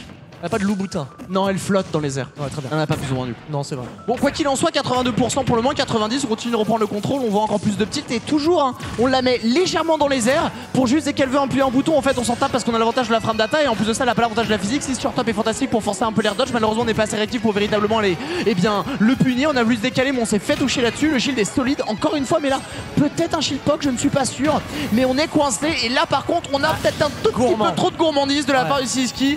Un up tilt en cache un autre, passerait mal la droit dans les yeux, frérot. S'il te plaît. S'il te plaît. Ouais, on, peut, on peut rigoler, mais il y a un moment donné où il faut aussi savoir se respecter pour l'instant. Et parce que Rayman est en plein contrôle des situations. Alors, je dis plein contrôle, mais attention, n'oublions pas notamment euh, bah, le caractère glace cannon fragile de Fox qui pourrait. Oh, quel est tir le up tilt justement On n'en avait pas vu jusqu'à présent, c'était jab jab décalage up tilt. Et est-ce qu'il va aller le chercher véritablement? Il prend les distances, il a raison. Parce que là pour l'instant on est dans l'attente. On est dans l'attente de voir ce que Siski va pouvoir faire défensivement. C'est un up B, figurez-vous. Oh, le neutralaire qui viendra attraper le charge shot et le manque de DI viendra sonner les cloches du joueur japonais qui en est réduit de fait à sa dernière stock. C'est un ultime espoir pour l'Europe, je vous le rappelle, qui est en train de jouer son premier match du côté de Oh. Siski. On n'a pas eu la la suite Quel dommage Forward derrière le 3 et alors là ça fait que les pourcentages s'en vont croissant. C'est ce qui est aux abois, littéralement je dis pas ça parce qu'il est face à un candidat mais là tu vas manger un splash et c'est la fin des haricots Siski va devoir concéder ce premier match face à Passeriman. Let's go Let's go En vrai, c'était incroyable. C'était vraiment incroyable. Ça fait plaisir. Encore une fois, il arrive du coup ici pour la première fois. Il sort du Japon. Il rencontre enfin des joueurs. Il le disait justement en interview, c'est que lui, en fait, son, son excitation et l'envie qu'il a en fait quand il est ici. Il disait, on, on lui demandait, frérot, euh, qui t'as envie d'affronter, qui t'as pas envie d'affronter? Il disait, en fait, moi, j'ai juste pas envie d'affronter les autres japonais. C'est la première fois que je suis à l'étranger, je vais affronter des joueurs que je n'ai jamais rencontrés. Moi, c'est ça mon objectif. Je m'en fous d'aller affronter euh, Ken, Asimoti. Wesh, ils sont, ils sont pas très loin de la maison. Euh, Je rentre, je rentre chez moi, on se cale une petite weekly à Tokyo, on n'en parle vrai, plus, tu vois. vrai. Donc en fait, lui, il a cette excitation de vouloir jouer le plus possible avec justement les Européens, les Américains. Ici, entrée en matière, deuxième joueur européen. C'est une victoire soudaine, dure, très dure pour l'Europe, très dure pour Siski, mais ça fait plaisir pour ce jeune joueur. Bien sûr, mais de toute façon, euh, j'ai envie de dire, on est aussi pays hôte, tu vois. On invite des joueurs étrangers, on a envie de les voir briller aussi, tu vois. C'est-à-dire que nos joueurs japonais ici, on est fiers de les avoir, on est fiers de pouvoir leur faire euh, un peu le tour de cette charmante ville. On est fiers de pouvoir les voir jouer, de de pouvoir les applaudir, d'autant plus demain, puisque demain, il y a plein de joueurs japonais qui passent en braquette. Vous pourrez les applaudir demain dimanche, alors que eh bien, cette salle sera bien pleine et ne sera plus seulement hantée par quelques personnes du staff, de la prod et de la technique qu'on embrasse très chaleureusement. Bref, on va donc pouvoir se jeter sur le prochain match. Ken, face à Passeriman. Demain, on va devoir commenter comme ça. Tu dis quoi Ouais, littéralement. Comment Ça va gueuler demain. Parce que là, autant ça résonne, mais. La rangée de droite, silence, comment ça, va être, ça va être un peu complexe, mais on va bien se marrer, je pense. on compte sur vous, cela dit, pour nous faire commenter comme ça demain lorsque vous serez sur place. Parce que bon, tout de même, c'est aussi le but. Mais en effet, on va se jeter du coup sur cette nouvelle partie. Et justement, les deux joueurs qui, eh ben, ne voulaient pas véritablement s'affronter, mais qui, eh bien, par la force des choses, vont devoir se taper. On rappelle que 6 joueurs japonais sont présents ici dans ce tournoi. 6 ou 5 peut-être, parce que je ne sais pas compter. 1, 2, 3, non, c'est bel et bien 6. Il faut évidemment deux groupes avec deux japonais, donc ils doivent s'affronter, ils vont s'affronter. Il s'agira de Ken face à Passeriman. Ken face à Passeriman sur toutes les phases où ils se sont rencontrés chez eux. Selon nos stats, Aïe, nous aïe, sommes aïe. à 3-1 Ouais. pour Ken. T'as ça, t'as ça chez toi, toi? J'ai ça chez moi. T'as quoi chez toi? Fais montrer, montre ta copie. Genre, Ah ouais. c'est- genre, c'est Ah ouais, même- t'as t'as pas du tout les mêmes nombres que moi en fait. Non, non, non, non. Je, Mais- crois que, je sais pas ce que t'as regardé, mais. Mais frère, enfin, Je sais pas ce que t'as regardé, frère, mais c'est pas le bon set count. bien sûr? Mais ça m'étonnerait pas. C'est quoi tes sources? C'est tes sources. Les sources, euh, sources t'inquiètent déjà. T'inquiète, ouais. Sources t'inquiètent déjà. Très bien. Sources, euh, Bon, source, je- source, je Parce m'inquiète. que moi j'ai un set count à 24-13 pour Ken. Alors soit je suis un gland et je me suis ripé. Non mais soyons francs, 3-1, je trouvais ça un peu faible. Ouais, sachant que bon, Je trouvais ça un peu faible. pour moi c'est plus de l'ordre de... bon, en tout cas, Je trouvais ça, oui. tranchons la poire en deux. Disons que Ken gagne dans une majorité des cas. Ce qui se retrouve dans les deux calculs. Mais non Mais, mais oui Exceptionnel. Mais oui, Ken gagne la majorité du temps. Je passe un moment Selon les stats.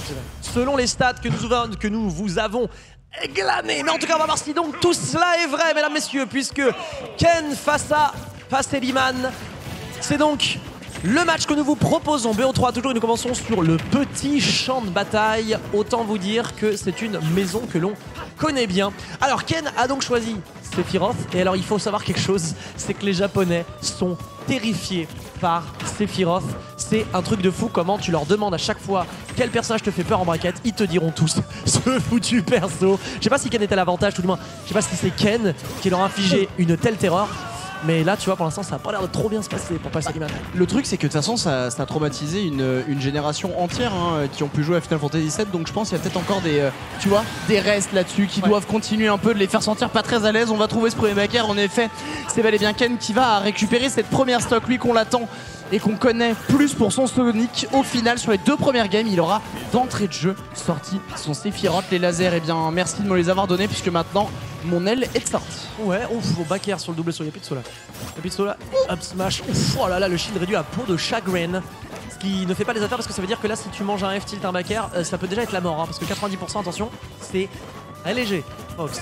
Un peu comme Sephiroth d'ailleurs, de surcroît. Mais pour l'instant, c'est plutôt un Ken qui se crée en l'avantage, on trouve quand même. Oh, ça le tue pas. Oh, je demande fait mal. la VAR là-dessus. Comment se fait Euh, que ça ne tue pas je suis entièrement d'accord. Mais bon, quoi qu'il en soit, on a vu un le nerf up smash qui peut, qui est très solide là-dessus, un Pasteur Iman. On voit que c'est ce qu'il cherche énormément. Tu vois, c'est pas trop en fox du drill, par exemple, drill up smash. On sait que ça peut fonctionner, etc. Ouais. Mais lui, c'est vraiment les landing nair, up smash derrière. Il y a pas trop d'embrouille, tu vois. Pas la drill. On essaye, je pense, encore une fois, de viser un peu l'angle mort de son adversaire. Je vais sauter la référence musicale que tu as tenté de nous faire et plutôt concentrer sur ce back air qui a été trouvé, qui malheureusement ne tuera pas. Mais cette paire, très haut dans le ciel, ira récupérer cette stock. Et on a un Pastoriman qui a été solide face à Sliski.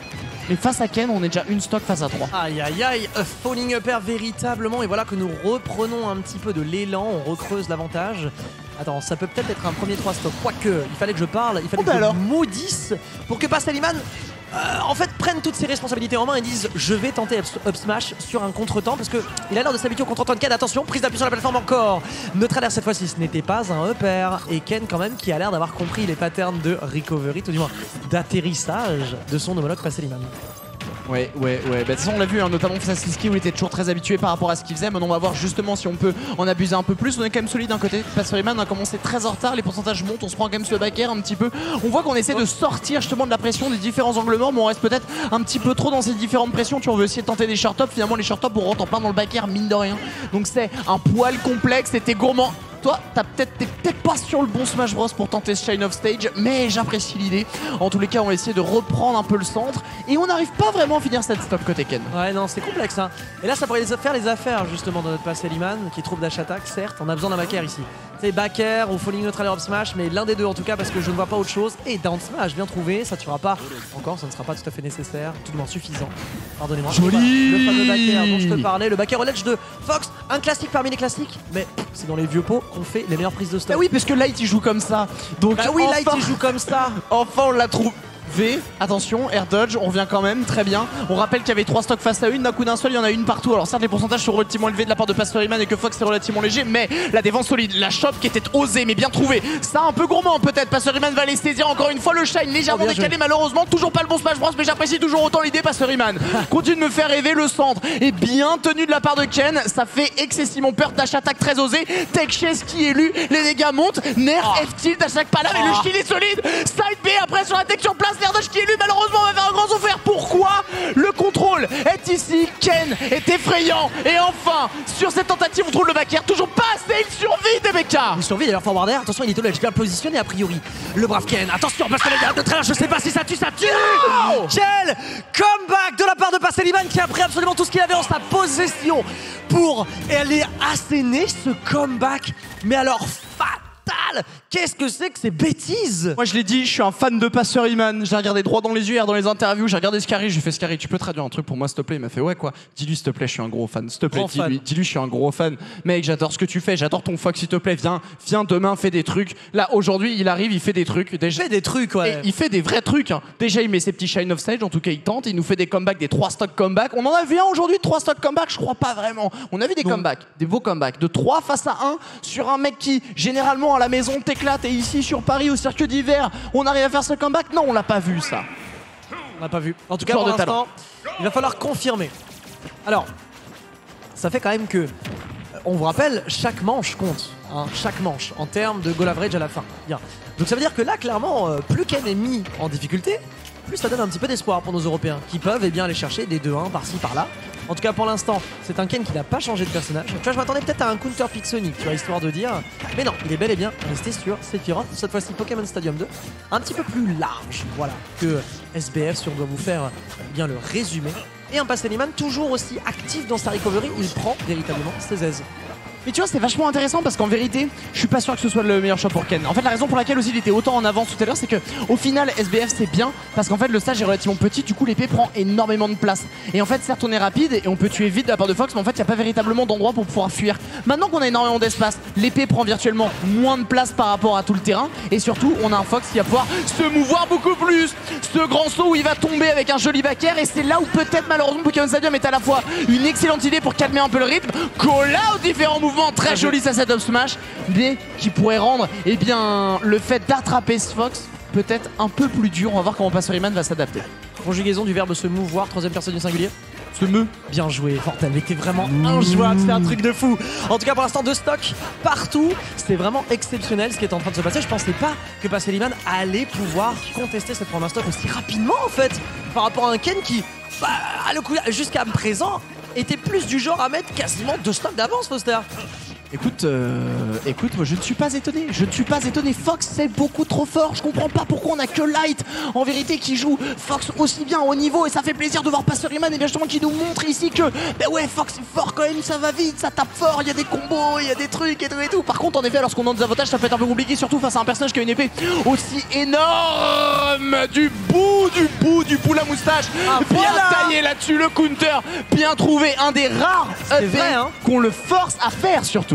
Eh ben ça, Ken qui prend ses responsabilités, qui va off stage, ça par contre, c'est suffisamment rare pour être notifié. En tout cas, c'est du bonbon pour les yeux, hein, véritablement. Ce qui vient de se passer, ce n'est pas un counter qui fonctionne comme les autres. hein, ça se déclenche après un certain laps de temps. Et Passeliman, du coup, qui là, en sa position euh, d'agresseur au ledge, peut aller chercher l'élimination. Si toutefois le bon neutralaire et le bon up smash venaient poindre le bout, eh bien, de la bottine, le voici, le neutralaire up smash. Il a l'air de véritablement tourner tout son game plan de prise de stock autour de ce fameux combo signature. Non mais surtout en fait là où il est trop fort c'est qu'en fait on voit qu'il prend pas tout le terrain et il reste proche de Ken. Et on voit qu'il le provoque, tu vois, il veut que t'appuies sur des boutons en fait. Je suis là mon ref, faut que t'agisses, faut que tu fasses quelque chose, tu peux pas réagir, faut read, faut que tu fasses des trucs parce que je suis déjà sur ta tronche. Et dès qu'il appuie sur un bouton, il agit, il prend un choix, il tourne un peu autour, c'est fantastique ce qu'il nous propose. Il se fait choper cependant parce que attention, les stocks sont relativement, il n'y a plus qu'une stock de chaque côté, on pourrait partir dans une situation de 1-1, Ken qui prend tout le terrain, le nerf, side B en tech chaise, fantastique, on prend les distances, Ah. pour un der- dernier qui touche, pourquoi pas, c'est air dodge relativement loin. Ken qui prend son temps, mais qui Ouais. est déjà acculé, pas sur Eh ben pourrait partir avec le down smash, prendre ce set 2-0 et s'envoler pour le moment en tête de ce groupe D. Passeriman Alors ça, c'était inattendu. Parce qu'on vous disait tout à l'heure que dans une très large majorité des cas, Ken l'emportait face à Passeliman. Il n'y a pas cette fois. C'était un BO3 absolument exceptionnel. Tu vois, je pensais qu'on allait switcher sur Sonic là-dessus parce que il y avait quelque chose qui me faisait dire que, ah, tu vois, et dans même les, les tournois que j'avais pu un petit peu regarder, c'est vrai que le Sephiroth de Ken était mis à mal par Passeliman. Et quand même, on a assumé ce choix jusqu'au bout. C'est absolument fantastique. Passeliman qui du coup remporte eh bien, ce set face à Ken. C'est vraiment un set qu'on ne voyait pas arriver du tout. Mais alors, du tout, on se positionne très bien. Premier groupe pour Passeliman pour l'instant. Je suis trop content. C'est incroyable. Et donc du coup, ça permet d'avoir un Fox bien représenté, même côté japonais. Mais on va quitter le côté japonais. Chut. On va faire un peu euh, 10-12 000 km pour aller eh bien, ici, à Paris, au circuit d'hiver. Et surtout, eh bien, la croisée de- de- des chemins à Barcelone. Donc disons, croisée des chemins entre Barcelone et Paris, disons euh, Bayonne.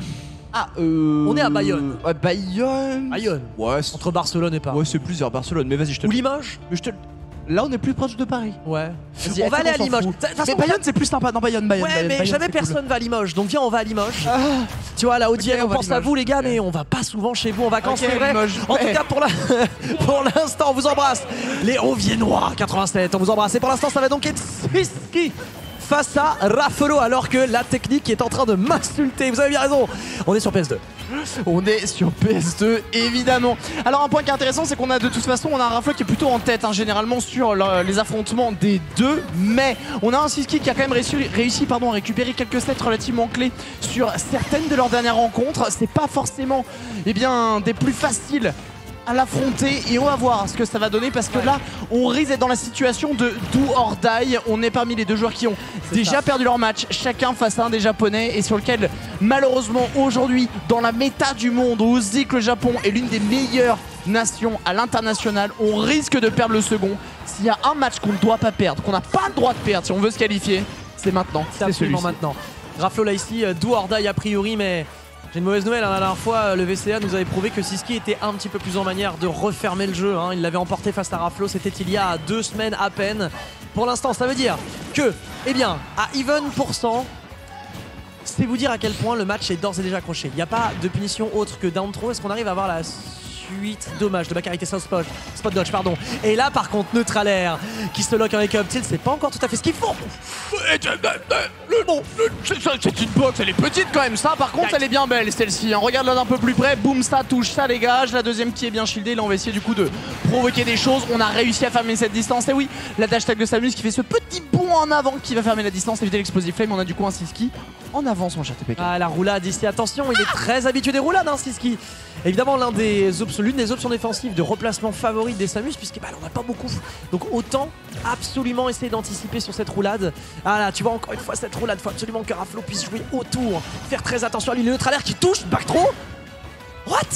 Écoute, pourquoi pas. Le Dragon était bon tout à l'heure, on avait fait up tilt, euh, ça avait fait mouche. Peut-être que là, on n'était pas très confiant au niveau du timing. On s'attendait justement du coup à maintenir le shield. Par contre, tu parles de ces roulades et en effet, on a un Siski qui abuse peut-être un poil trop de ces roulades parce que du coup, on a Raph évidemment qui est très habitué, qui au final, malgré un départ, eh bien, peut-être un peu compliqué en demi-teinte, on parvient à rééquilibrer relati- relativement confortablement, pas trop de dégâts infligés et surtout reprendre très vite l'avantage avec une position qui est, eh bien, somme toute, tout à son honneur. À son honneur là malheureusement aïe, il fait ah là ça mange un jab un jab de attention on perd du terrain côté Raflo la bombinette tu la tiens dans ta main et pour l'instant c'est du coup et bien un Siski tu l'as pas celle-là hein. Ça me dit un truc, ça me dit un Tu truc. l'as, Continue, télé- continue. téléphone, la bombe humaine. En tout cas, 78%. D'ailleurs, on embrasse Human Bomb hein, qui a fait tout l'overlay en parlant de bombe humaine. Et 24%, t'as vu transition toute choisie avec un Siski qui prend ses responsabilités. Forward throw de surcroît. Et là, c'est un Siski qui a l'air de gel- geler un petit peu le jeu. Quoique ça y est, la roulade est enfin punie. C'est un bon signal offert par Raflo. Ouais, ouais, ouais, ouais, ouais, bon signal, bon signal, mais pour combien de temps malheureusement? Parce que là, pour le moment, certes, on a le corner. Ok, ça continue à bien fermer. Enfin, un mal. qui fait mouche. On force la bombinette, ça n'ira pas euh, plus loin. Mal. ne l'avait pas dans sa main de fait. Un back air qui est bien trouvé. Et maintenant, peut-on véritablement finir le trump qui n'est pas fait? Mais ça ne fait rien. Un drag down. Le back, le, la chape ne Oh. passera pas. Mais ZB, peut-être un peu trop gourmand là-dessus. On ne perd pour les punir. Ça, pas le deuxième. On avait le deuxième saut qui a été consommé. Et on appelle cette dash attack puni directement au back air. Air dodge, consommé. Le coin est mis. Et encore cette dash attack qui est bait. On a un Raflo qui mixe entre offense et défense. Et un Siski pour le moment qui, malheureusement, est un petit peu perdu au milieu de cette danse. Et pourtant là il n'y avait aucune raison de se faire avoir Un véritable en qui montrait son dos. Donc il faisait miroiter un backer. Donc pourquoi est-ce que tu manges la attaque Je ne sais pas. En tout cas double bombinette. Ce n'est pas encore tiré d'affaire pour Afo qui mange la bombinette Malheureusement. Oh malheureusement pour Siski c'est la DI out qui va permettre de s'éviter les déboires. Le forward qui touche. Oh là là mais alors là Remboursez-moi ce que je viens de voir. Le chart shot ne fera pas encore tout à fait mouche. 165% Arda qui n'est absolument pas dans une très très bonne situation Mais il arrive quand même à se défaire À trouver quelques menus dégâts. Les trades s'en vont bon train. Je ne sais toujours pas vous dire qu'il y a véritablement l'avantage Et c'est ce qui rate la fenêtre de tir pour aller chercher la deuxième stock. Et voilà que l'attaque Spalutena est en train d'être prise de la plus belle des manières. Le joueur BMS qui accélère le jeu. Et il a raison parce que c'est maintenant avec 166% de rage effect qu'il faut faire compter les choses. Le Bale Store de la fenêtre du EP, il devait mourir là-dessus. Mais est encore en vie. Tentative de forward flash, il a été décalé, décalé avec l'animation. C'est absolument terrible pour le joueur espagnol. Et le joueur français qui est en train d'accélérer, Foster. Ah bah là, là- là, c'est complexe, c'est complexe. En plus de ça, on voit Siski malheureusement du coup qui s'énerve et qui s'agace sur sa chaise et je le comprends tellement, tellement de douille, tellement de hitbox qui ne fonctionne pas évidemment pour le vidir. Tu dors un peu Alex Sardone dit un backer juste derrière. Ça fait mal, ça tuera. On a malheureusement beaucoup, beaucoup, beaucoup de complications. 1-0 pour le moment pour Aflo. Le 7 n'est pas encore fini. Mais on a cette situation qui est difficile. On sent la pression très lourde mais là, très grande du côté espagnol. Ça a l'air très compliqué. Je pense qu'il y a un côté un peu où genre, c'est une poule où t'as pas le droit à l'erreur. En témoignent ici les différents portraits teintés de rouge, que ce soit les Orions, les Flots ou les Glutonies. On n'a pas le droit à l'erreur dans ces affrontements. Et là, on est là face à un joueur qu'on connaît beaucoup, un joueur contre qui malheureusement on a du mal. Et là, on est dans des phases où malheureusement, on laisse l'adversaire suivre à 170 et quelques pourcents. Beaucoup de multi qui connectent, qui ne Non, fonctionnent ça- pas. Des coups qui passent à droite, à gauche. Et on voit qu'on s'agace, on s'agace, on s'agace. On est au bord du gouffre ici. Pour l'un Ouais. comme pour l'autre. manque de réussite. Manque de réussite pour Siski. Il avait les bonnes idées, les bons moments, les bons timings. Il y a des fois où le jeu, le jeu dit non. C'est pas vrai. Tu mens. C'est là un peu de chance. Tu mens. C'est pas vrai. Et donc bah là, du coup, qu'est-ce que tu fais? Bah tu respectes, tu te tais, tu t'assois et tu continues. En tout cas, c'est ce qu'on lui souhaite. Alors, Oh, il a pas, oh, il a pas de niaiser, hein. Raflo, il a couru, il a fait dash attack, il a fait comment ça Tu dors? Je pense qu'il s'est ramené, il a fait. Je pense, qu'il le sent. Il sent l'agacement de Siski. Il s'est dit c'est le moment d'appuyer. C'est le moment d'appuyer là où ça fait mal. C'est le moment d'abuser de ça. Le down smash qui ne passera pas ce tour. Cependant, Siski, attention, hein, ça peut être relativement dangereux. Elle a quand même des phases qui font très peur entre les charge les missiles, les pourcentages qui montent. Et là, on va prendre notre temps, on s'en fout de se faire avoir par une bombinette tant que la suite n'est pas touchée. Edge cancel back air, très bien vu en air. Évitez, on va aller se glisser. Au milieu de ce nerf avec euh, ces petits bounettes de la part de Siski, le contrôle est relativement bon. Le Charchat qui ne touche pas, mais un contrôle bien fait la part de Siski jusqu'à ce donner sans. Oh là là, Arda sur ce down tilt peut-être. Ok, double down tilt, on attend l'atterrissage. Neutral air sur l'attaque, sans reverse d'ailleurs. Fois-ci suffisamment rare pour être euh, eh bien notifié. L'Air dodge a été consommé. Eh non, la dash attaque un petit peu trop basse, mais c'est pas grave parce qu'on a quelques charge shots pour eh bien comprimer la menace. Raflo qui se débat, qui se débat très bien, toujours ce même side B pour empêcher le charge shot eh bien, de se charger plus que de raison. Et donc de fait, maintenant qu'on est en train de tourner autour de la menace et qu'on est en train de trianguler la position, on est un petit peu plus à même de refermer les taux sur le joueur espagnol qui pour l'instant est obligé de respecter ce forward tilt, quoique il va pas le respecter jusqu'au bout puisqu'on va lâcher le shield forward smash, c'était terriblement bien fait. Enfin, enfin, tu vas ça tellement faire du bien. C'est le côté un peu, c'est release de la part de Siski d'avoir enfin trouvé cette phase, une phase qui fonctionnait, une phase qu'on connaît, une phase qu'on a bossé, une phase sur laquelle on peut être solide. Ah là, malheureusement, la get up attack elle va passer derrière. On prend, on chope et c'est backstroke poupelge, comme diraient certains de nos amis casters. En tout cas, pour le moment, ici, deux stocks partout. Et je viens de découvrir un point commun assez fort entre Siski et toi. Je crois qu'il y a une haine profonde envers Palutena que vous partagez. Mais non Je C'est crois là. pas vrai. Non, non, non, c'est pas vrai parce Ah, qu'après si, le, si. après, le chat va croire que je ne suis pas pour Aflo. Je suis pour Aflo. Je Oui, suis mais pas contre pour Palutena. Absolument. Fait chier ce perso. En tout cas, pour l'instant, 40% les sépare. Ce qui veut dire que notre ami Raflo est plutôt bien positionné. D'ailleurs, j'aurais peut-être une anecdote à te filer sur Palutena après ce match. Ah. Et je crois que tu vas voir que c'est croustillant as fuck. Une vingtaine de pourcents, et là on voit que c'est un Siski beaucoup plus dans la même de proposer des choses nouvelles.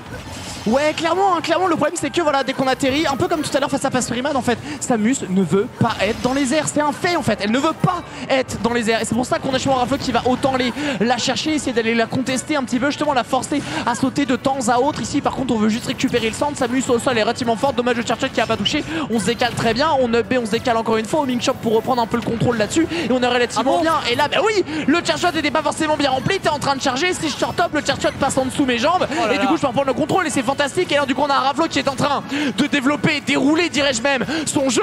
Et tout est en train de fonctionner. Pas encore un échec et mat, certes. Mais la tour le fou et la dame peut-être ont été prises. Il ne manquera plus que le roi et il est là.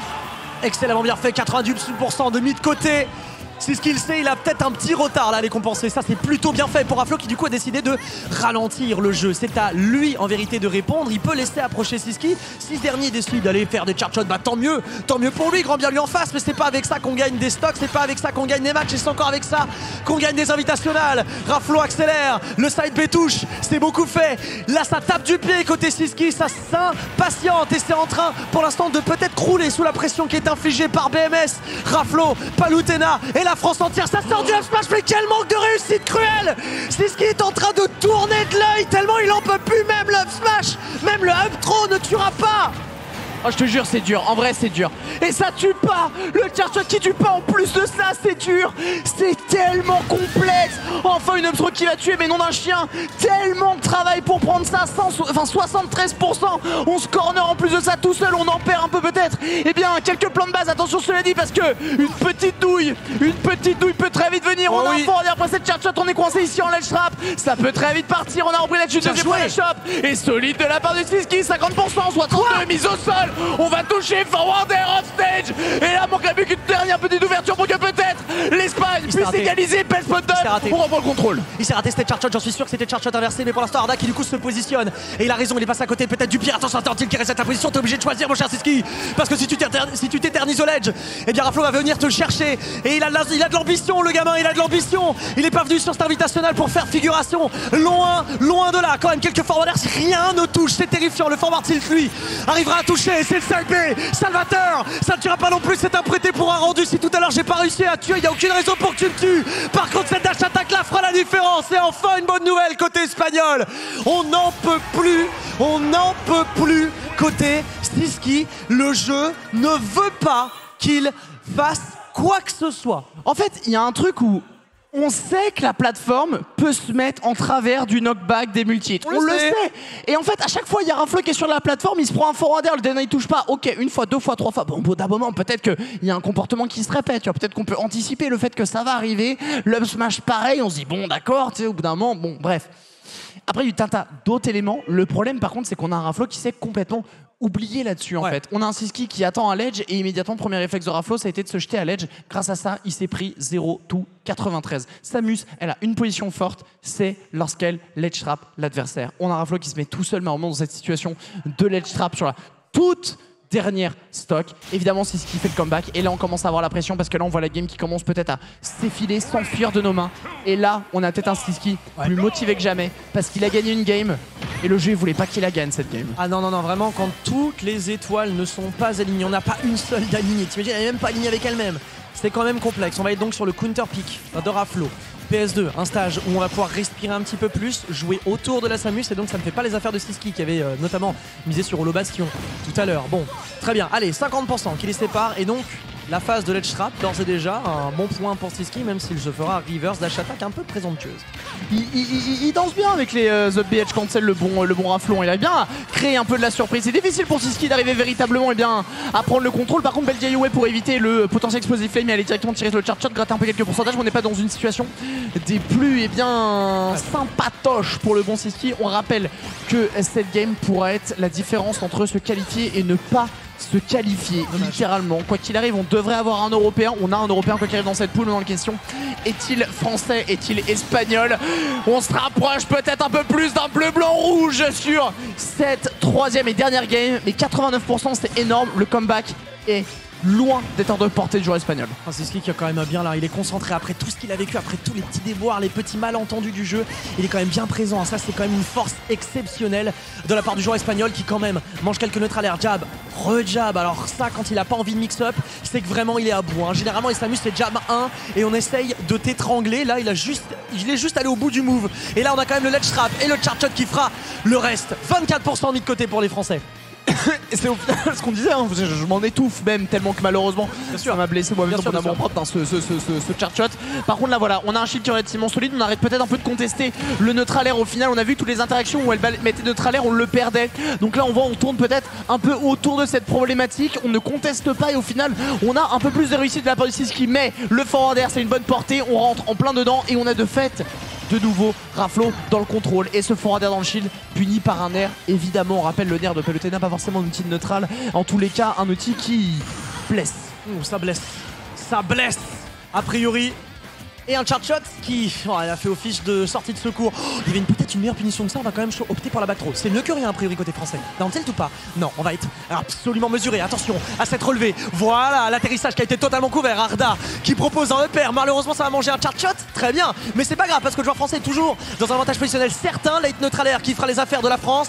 La France qui est pendue au bout des doigts de Raflo qui peut peut-être aller chercher quelque chose. Oh là là, il y a la suite avec ce forward air alors que Siski ne savait pas où donner de la tête à la suite de ce late On est en train de lutter comme un beau diable côté espagnol pour s'éviter les déboires d'un back air ou d'un repère. Ça y est, voilà voilà qu'il retrouve un peu le chemin de l'absolution. La solution, l'absolution ici pardon s'appelle le down B, la bobinette. Mais Raflo passe au travers des mailles du filet. Il ne se fera pas avoir dans cette phase de ledge trap. Loin de là, peut-être mieux encore. Il va peut-être même lui-même infliger une ledge trap. Et puis là on force l'air dodge, encore une fois on n'a pas forcément grand chose derrière. Oh là, il est venu dans tes bras, malheureusement on n'a pas eh bien, fermé les taux là-dessus. Explosive Flame un peu trop loin, le grab qui s'est arrêté devant, l'Explosive Flame qui a frôlé le dos. Intéressant comme interaction là-dessus. Nous on a un chien, mais oui, avec le nombre de nerfs, c'est un call-out C'est un call-out, on sait qu'il va réagir, on utilise directement au landing du nerf. Pourquoi pas? Écoute, c'était risqué, mais ça a fait mouche.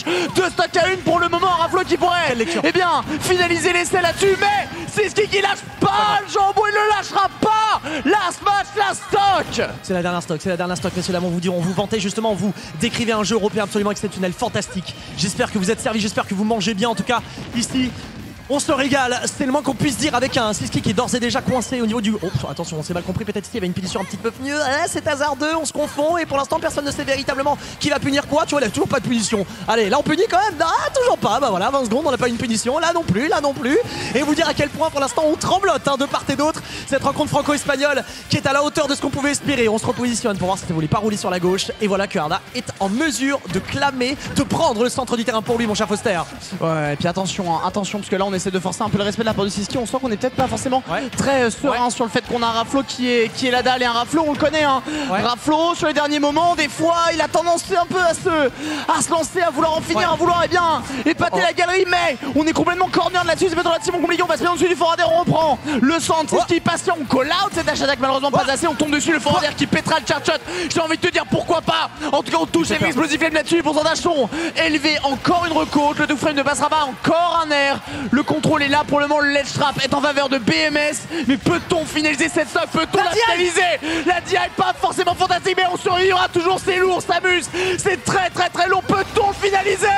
Ça tuera pas, ça tuera pas, c'est trop lourd. Dark Samus, attention. Raflo qui se positionne, il a raison. Il a raison de vouloir tenter des EPR parce que là pour l'instant, Stastiski qui est en manque d'oxygène. Il étouffe, il est aux abois. Raflo, là, dash attack. Qu'est-ce que c'est que ça dash attack? Voilà le jab avec le mix dash attack. Le charge qui est absolument shieldé. C'est bien ce qui est en train de faire le Raflo. Pour l'instant, la France qui est encore un espoir. On a quand même 100% quasiment qui les sépare. Backer, il s'agirait de tuer mon cher Raflo parce que là, on va pas pouvoir continuer comme ça jusqu'à la fin de ce samedi. Le forward tilt 2 va pouvoir toucher. C'est fait pour Raflo qui effectivement l'emporte. Il l'emporte aux dépens de Siski qui, bon sang, qu'est-ce qu'il a bataillé, qu'est-ce qu'il a lutté de A à Z?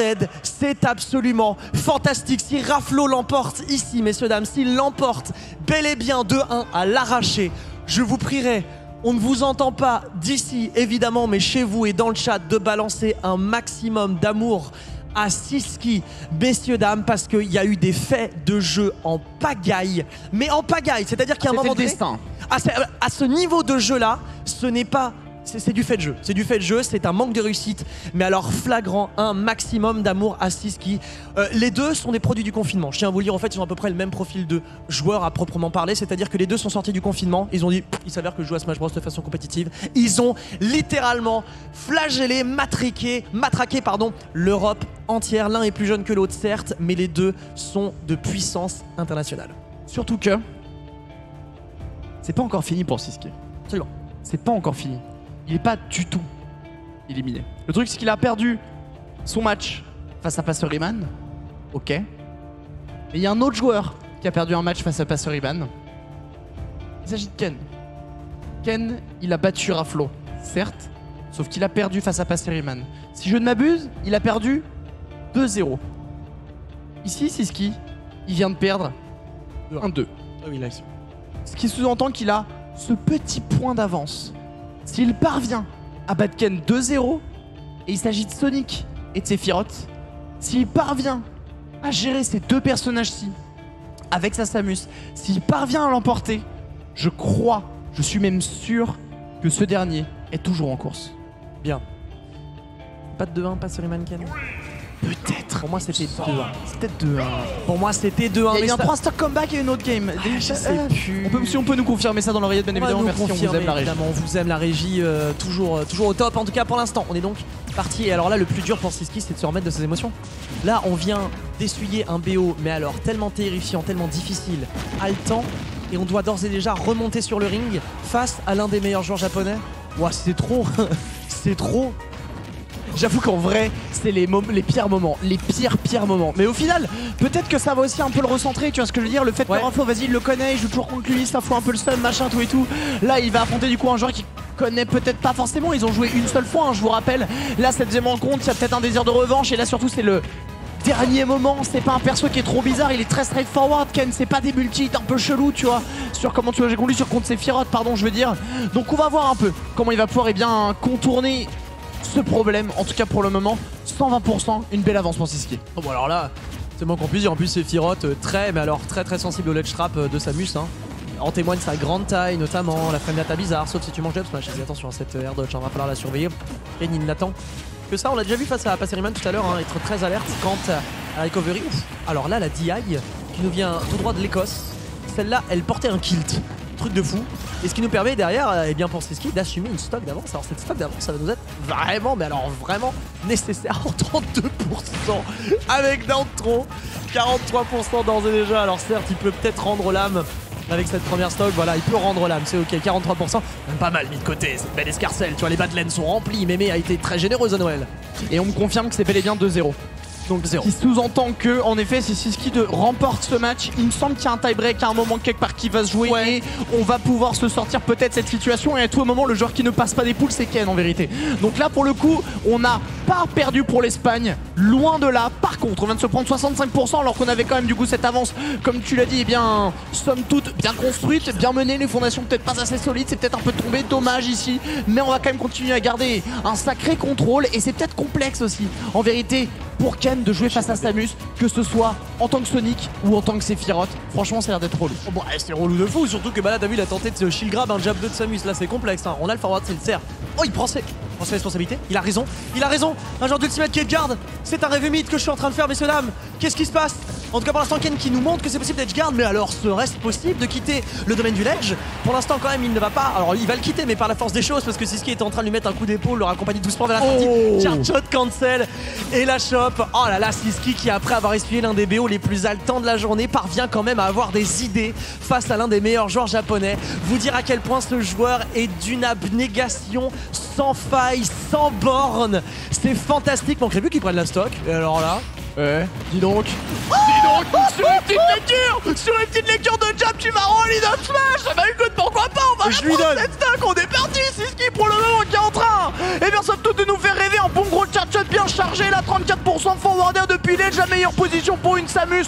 Situation de ledge trap, on est bien, mais bon. Le P un peu gourmand de la part de Sephiroth va toucher, on va les contester ça avec un forwarder, on en a absolument rien à faire de la part de Siski pour le moment. Tu veux descendre, je te touche aux airs, y a pas de problème, on reprend le centre. Malheureusement, le saut ici qui sera peut-être un peu gourmand en termes de lecture, mais on n'arrive pas à rentrer dedans de la part de Ken. Et ça, c'est malheureusement un peu le défaut aussi de Sephiroth, parce qu'on est peut-être un peu lent sur eh bien, certaines frame data. On a besoin d'être un peu proche, on a du mal à gérer cette licence et du coup, les coups ratent. ouais, les coups ratent. C'est moi qu'on puisse dire. Mais là, les coups ratent, tu vois, c'est ce qui lui s'en fout. hein. Là, il est à l'autre bout de la terre, il est en mode, bah si tu as envie de venir, viens. Mais c'est à toi de proposer quelque chose, c'est à toi de faire le euh, premier pas, comme dirait l'autre. Et là, du coup, euh, le premier pas, bah ça tarde à venir forcément parce que quand tu t'appelles Siski. Euh, Il y a beaucoup de choses qui guettent, il y a notamment ce forward d'ailleurs, voilà, si euh, tentative d'incartade est bien aérienne, notamment ce down pour freiner les ardeurs. Il y a aussi ce charge shot qui pourrait mettre à mal la percée de Ken, même si là euh, Ken essaye de percer la délicate armure de cette Dark Samus of State. Pour l'instant, rien ne fonctionne, même pas stop B. Oui non mais non mais ça on l'a vu tout à l'heure avec Raflo, c'était marrant parce qu'il était français mais là on arrête les Aïe. bêtises maintenant. Donc voilà, on va le choper par le col. Là au moins une fois que c'est chopé, il n'y a pas de bizarrerie de multi-hit. Ça dégage, hop, on prend la game et c'est un deux stock Siski qui vient de mettre son pied entre la porte et la fermeture là. Hop hop hop. Moi j'ai pas fini. Moi je suis Pas fini. toujours là. Je rentre. Euh, s'il vous plaît. En fait, je rentre. En fait, je rentre. En fait, je rentre. Il a, En, en- en fait, voilà, j'en ai marre. il a littéralement, euh, littéralement mis une béquille au videur. Il lui a dit en fait non. Je, je vais rentrer et tu ne vas rien faire. le videur de l'Odyssée qui est là en train de l'attendre. Tu sais, il commence à le tendre un peu vers le vilain couloir de la mort que personne ne veut emprunter. Il s'est ramené, il a fait balayette, videur, tu dégages. Ouais, quoi. Fait que- Mais au final, Oui. vu que c'est nous qui décidons qui passe et qui passe pas, Oui. c'est pas un peu nous les videurs C'est nous les videurs. En fait, j'allais faire une référence mythologique. Ah Genre, en fait, parce Ouais, que euh, pour moi, il me semble que c'est. je pourrais de me prendre la balayette. C'est peut-être Circé, la sorcière Circé dans la mythologie grecque qui serait du coup la videuse. Euh, je sais qu'il y a l'autre là sur sa barque, donc j'ai complètement oublié le nom, qui amène les gens. Euh, non, ça c'est Chiron. Ah ouais. Chiron. C'est- Ouais, lui, il ba- il ba- c'est pas lui qui balade les morts. Ouais, mais ça c'est pas l'Odyssée, ça c'est quand les gens sont décédés. Ouais. Là, tu vois, il prend les mecs, il va les faire voir. D'accord, ok. Mais c'est parce que je pensais qu'on faisait référence au fait de, de la Ouais. porte des enfers, quoi, tu vois. Oh, tu vois, tu vois ce que je veux dire Ouais, par ouais, exemple. tu peux faire ça. Mais ok, d'accord. Mais du coup, ça. Euh, Circé, déjà elle a transformé les copains d'Ulysse en, en cochons. Ah oui Voilà. Charmante demoiselle. Alors, Charmante demoiselle, mais bon, au demeurant. euh, Ah Sonic En parlant de cochons Il est là Il est présent, on a un chien, mais faut le catcher, faut l'attraper. C'est le Sonic, un des personnages les plus eh bien, rapides, mais surtout les plus embêtants du jeu vidéo. Bat Small Battlefield, pas de top plateforme pour véritablement pouvoir eh bien, se cacher. Deux plans de jeu d'un point de vue horizontal, un personnage lourd, donc on peut faire de moult dégâts lorsqu'on va la toucher, mais surtout on va pouvoir eh bien, faire whiffer les moves de la Samus. Ouais. Préparez-vous messieurs dames, la game va peut-être durer 7 minutes. Euh, ouais, ou pas, parce qu'en vrai, Ken, euh, mine de rien, c'est un Sonic qui peut euh, eh bien avoir de la sauce, hein, comme on dit euh, souvent, puisque bah, la plupart des Sonic, c'est vrai. Alors, la, la méta des Sonic tend à être de plus en plus agressive, puisqu'on a suivi un petit peu le chemin de Ken et de Sonix, hein, le joueur de République Dominicaine, qui arrive à prouver qu'il est possible eh bien, de faire des trucs avec Sonic. Pour l'instant, prise d'appui sur la gauche, forward air. C'est pas mal ce qu'il fait. Ah, ah, ah, on va peut-être un petit peu trop loin. Et là, euh, Cisco, il va peut-être peut-être pouvoir en profiter parce que là, il y a down tilt. Tu payes un petit peu le prix de ton impétuosité, impétuosité qui pour l'instant se traduit par une réussite européenne, puisque 50% désormais, waouh, 70% d'écart, un back air, un forward air suffisent. Et bien le voici. On va le chercher là-dessus. hein. On va le chercher. C'était assez clean. Je suis étonné que Ken d'ailleurs se, se perde et s'oublie un peu peut-être sur ce saut à l'edge. On sait que Samus elle aime beaucoup récupérer euh, justement ces petits sauts à l'edge avec son forward air qui est vrai. somme toute baveux, relativement Ah, généreux. C'est moins qu'on puisse dire. Euh, clairement, hein, comme une, euh, comme, comme, comme j'avais fait une référence à un plat japonais, mais en fait je l'ai pas, il m'échappe donc Une ça fait bavette, rien. disons une bavette. Une ba- mais c'est- mais voilà, mais baveux comme une bavette, tu vois. c'est, euh, Comme une omelette, une omelette. Quoi qu'il en soit, on est reparti. Et on a encore le contrôle du terrain. Le Dunbay, on va lui laisser parce qu'en final, si tu veux jouer full screen, il n'y a pas de problème parce que je charge le shot. Par contre, Ken, du coup, qui fait full screen, go in, full screen, go in. Attention à ces B qui vont pouvoir peut-être eh bien, être très problématiques pour Ken. Mais là, c'est ce qui. euh, Attends, c'est un- c'est vraiment une très bonne copie là, c'est un sans faute, il trouve. Oui, oui. Dash grab fort. euh, Hein Comment ça, forward throw ici? Mais Ken fait dodo? Euh, Est-ce que Ken fait dodo? Charge shot ici. Attendez, attendez, attendez, attendez, le joueur européen Oui. là-dessus qui remet Zer ici une deuxième fois, air dodge ou pas? Ouais Oh là là, Siski qui est sur une instru exceptionnelle, même s'il va devoir essuyer un up smash. Bon, allez, ça, ça, ça arrive. Voilà, ce sont des petites choses qui arrivent. Mais par contre, là, mettre un joueur japonais à 130% et d'aller faire la read au forward air, ça s'en est une autre. Quel talent de Siski Attention parce qu'on va peut-être arriver sur cette triangulaire dont on parlait. On va peut-être arriver à cette triangulaire tout à l'heure. Et alors là, la régie, j'espère que vous êtes chaud en match, j'espère que vous avez bien révisé parce que à tout moment, si jamais on part sur un 2-0 de la part de Siski, il va falloir nous dire très précisément qui c'est qui passe et qui qui malheureusement va devoir arrêter sa course à l'Odyssée parce que ça n'a pas été évident d'arriver à le déterminer. Pour le moment, on est corner, une belle stock d'avance, 60% seulement.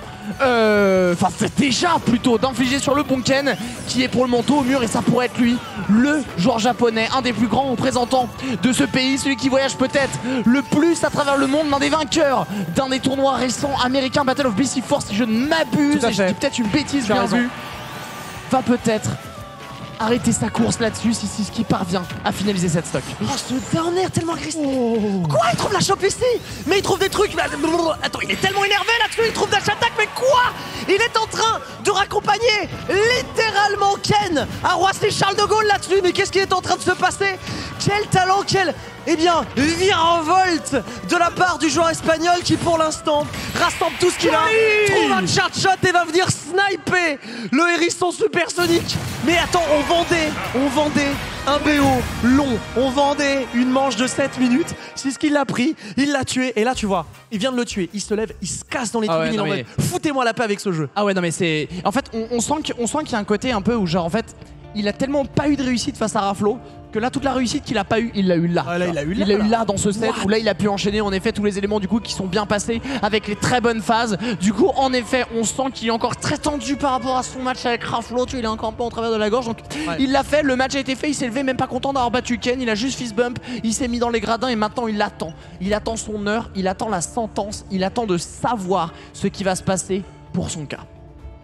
Et alors là, prochain match. Match décisif, s'il en est, à bien des égards. Puisque là, alors là, oui, je vais pas vous raconter ma vie, je vais pas faire semblant de savoir qui est en triangulaire, de qui, de machin. J'en ai strictement Ah, aucune ah. idée. Ouais, si je peux, ra- je, Vas-y, Foster. Le seul truc en fait, c'est que Pastor Iman est le seul joueur actuellement avec deux victoires. C'est Si ça. jamais Raflo venait à avoir cette deuxième victoire, il passe en winner. Il passe en winner, ouais. Il serait premier. Il serait premier. Donc en fait, c'est assez énorme en vérité ce match. Ouais. Si Raflo parvient à récupérer Pastor Iman. Mais Donc là s'il maintenant, perd- le truc c'est que non seulement s'il l'emporte, il passe en winner, si jamais il perd, là il y a l'espèce de potentiel triangulaire où on se retrouve avec des 1-2 un peu partout. À savoir les trois autres sont en 1-2. Ouais, mais vu que Siski vient de 2-0 Ken, Et Raflo a gagné en, en 2-0 également. Mais comme Siski a perdu en 1-2, Siski 2-0. pourrait prendre le lead par rapport à ça. Et après, le match pourrait jouer du coup entre Raflo et Ken. ouais. Quoi qu'il en soit, un point qui est aussi important, Oui, dis-moi. Dis-moi, Foster, je veux savoir. C'est que si Raflo perd ici contre Pasteur Iman, Ouais. va falloir rattraper Esprit Shonen et Ryokai. Ah oui, bah globalement, alors, pour prendre un peu sa défense, sache une chose. en vérité que Raflo galère un peu dans le match-up Fox. Parce que justement, Ryukai, aïe aïe aïe, What the Fox, aïe aïe aïe. Euh, enfin, What the Fox, tout du moins. Euh, Ryukai dans un premier temps, aïe aïe aïe, c'est un match-up qui est un peu complexe. Même si sur le papier, t'as envie de donner Palutena quand même un peu plus robuste que son homologue Fox. Donc j'ai envie d'y croire, d'autant que c'est un style radicalement différent alors que les poules sont affichées. Alors que pour l'instant, vous le voyez. Passeriman est en première position. Siski, Flo est en troisième position. Ça va donc être à l'issue de ce match que nous verrons si oui ou non. Mais attends, maintenant que j'y pense, En fait, le truc, c'est. est-ce que Raflo passe whatever happens? Non. Non.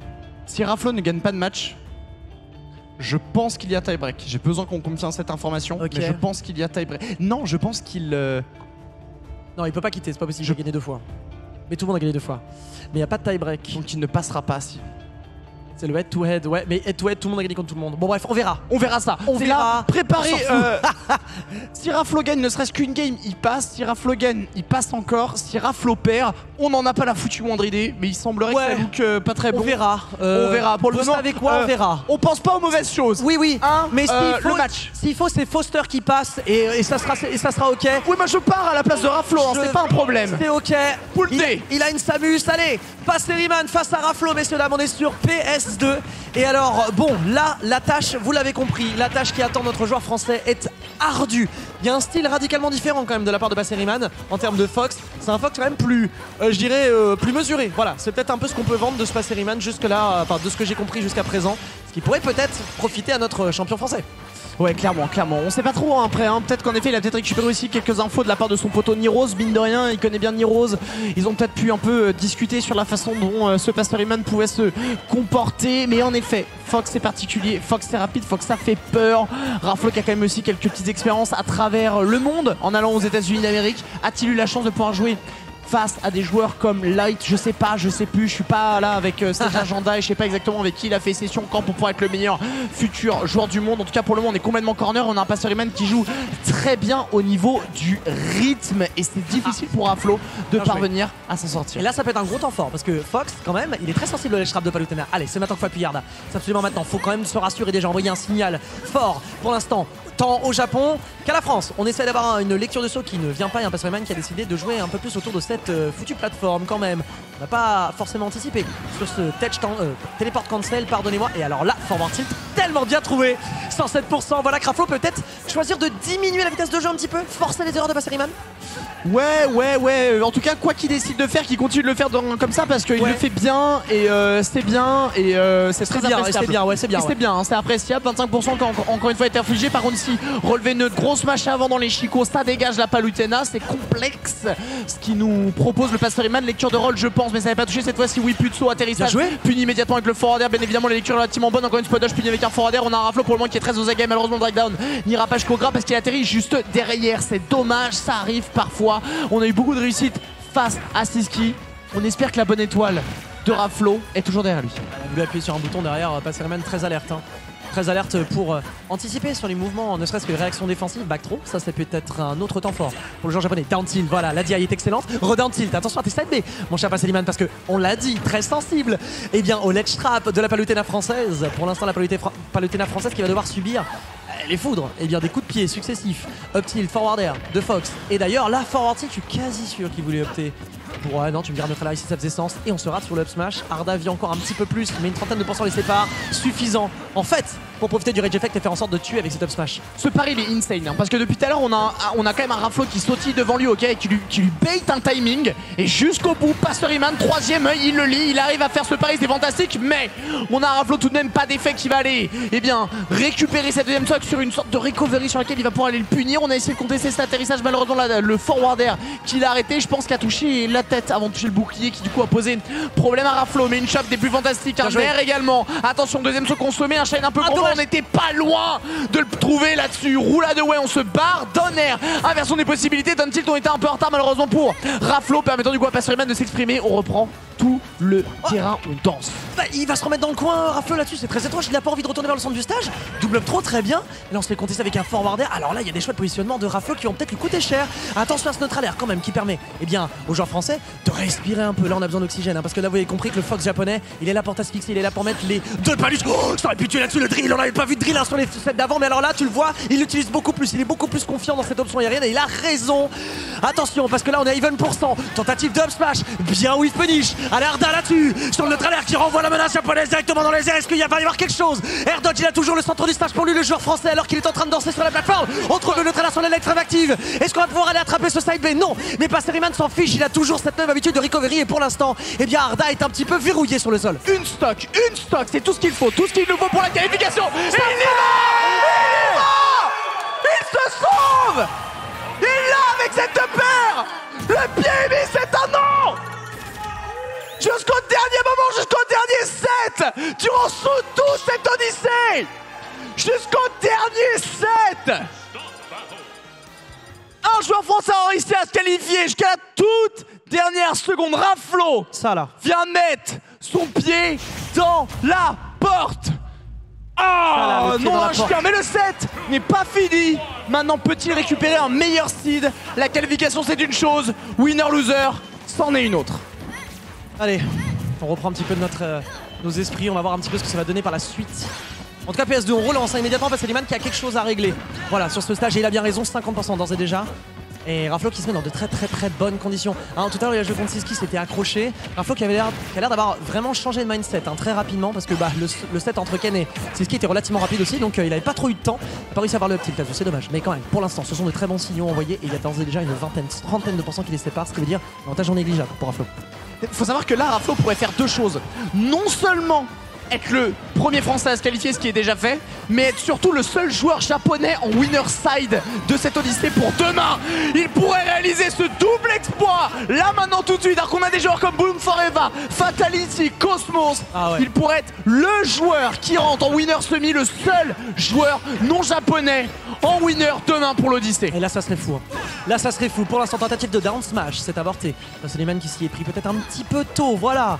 Ce qui fait que Raflo est encore en vie, persévère, 101%. Rendez-vous compte, c'est énorme. Mais si on se met pas dans la range du Fox et qu'on le pousse à l'erreur, eh ben finalement, 101%, on s'en fiche. D'ailleurs, on va rentrer dans sa zone de confort pour aller chercher le double neutralaire. C'est pas encore tout à fait les dégâts optimum, mais c'est pas grave parce que ça permet de profiter pour l'instant d'un bel élan. Up smash ici, certes, mais on va concéder cette stock avec 48% de mis côté. Et sur un personnage aussi léger, 48% de côté, c'est très très très bon. énorme. D'autant plus qu'on arrive très bien à mettre du rythme. On trouve en plus le nerf, t'es off stage, on continue à punir avec l'explosive flame. Le side B, on le disait, on commence à s'habituer. En tous les cas, les deuxièmes sauts sont forcés. Les atterrissages, c'est pas forcément puni, mais on est là, on le chasse, le backthrow. Bien trouvé là-dessus, on le laisse, on le maintient.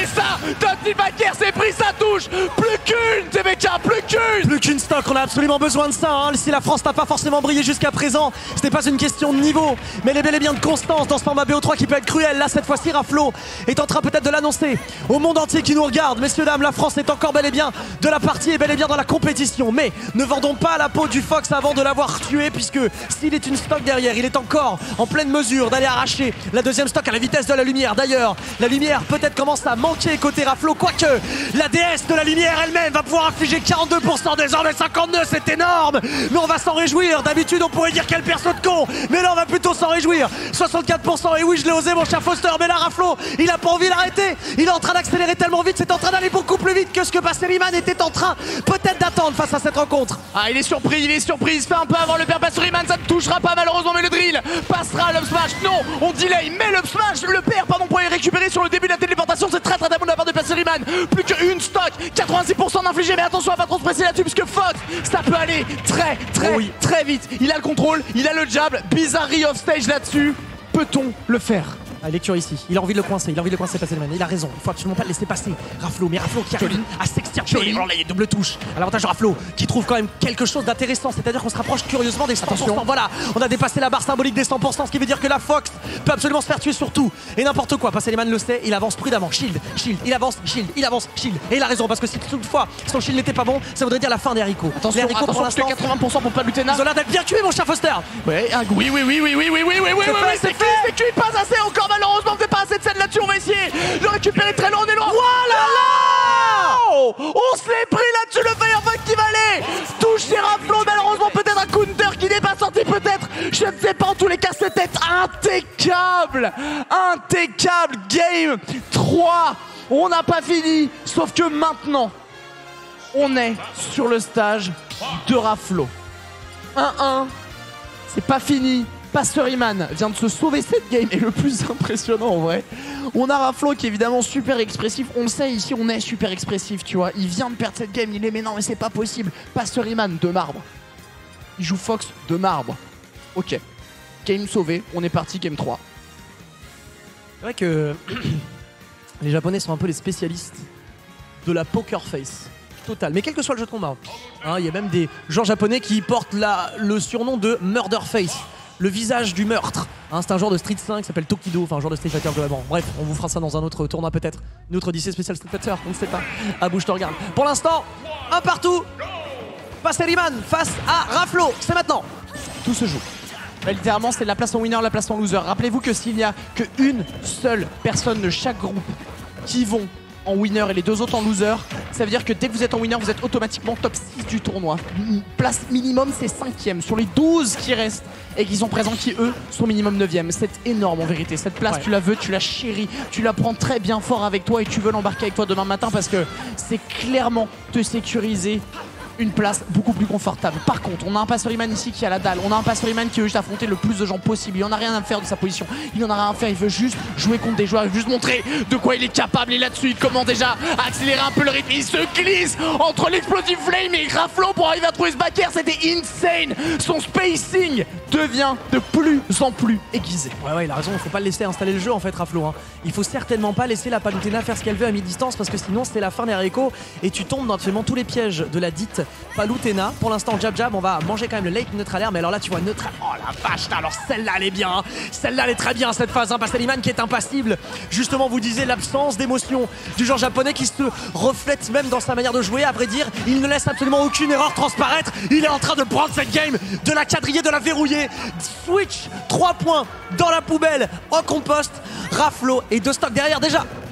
Euh, c'est dur là par contre, parce que 65% c'est vraiment pas énorme pour le coup, on revient très haut d'accord, mais bon ça on l'a déjà vu, une fois, deux fois, le shine qui à chaque fois lui permet de temporiser un peu, il le voit sauter, du, du coup il air dodge, inversion des possibilités, on trouve une dash attack, magnifique shield là-dessus, parce qu'on sait qu'on aime bien appuyer sur notre alerte de la part de Raflo, donc on est relativement euh, serein, même le jab il est très bon pour les checker les potentiels Oh grab oh qu'on aime beaucoup de la part de Raflo aussi, on trouve un EP, attention est-ce que tu vas atterrir, on trouve le second, et là malheureusement je pense bien que eh bien, la game est en train d'échapper petit à petit des doigts de Raflo, on n'arrive pas à s'installer, on n'arrive pas à faire quoi que ce soit, la Ah roulette ouais. ne passera pas, mais on craque avec cette là-dessus, on trouve ce shine of stage Pastor Rayman Tu me fais plaisir là-dessus. Mais malheureusement, on ne peut pas s'exprimer.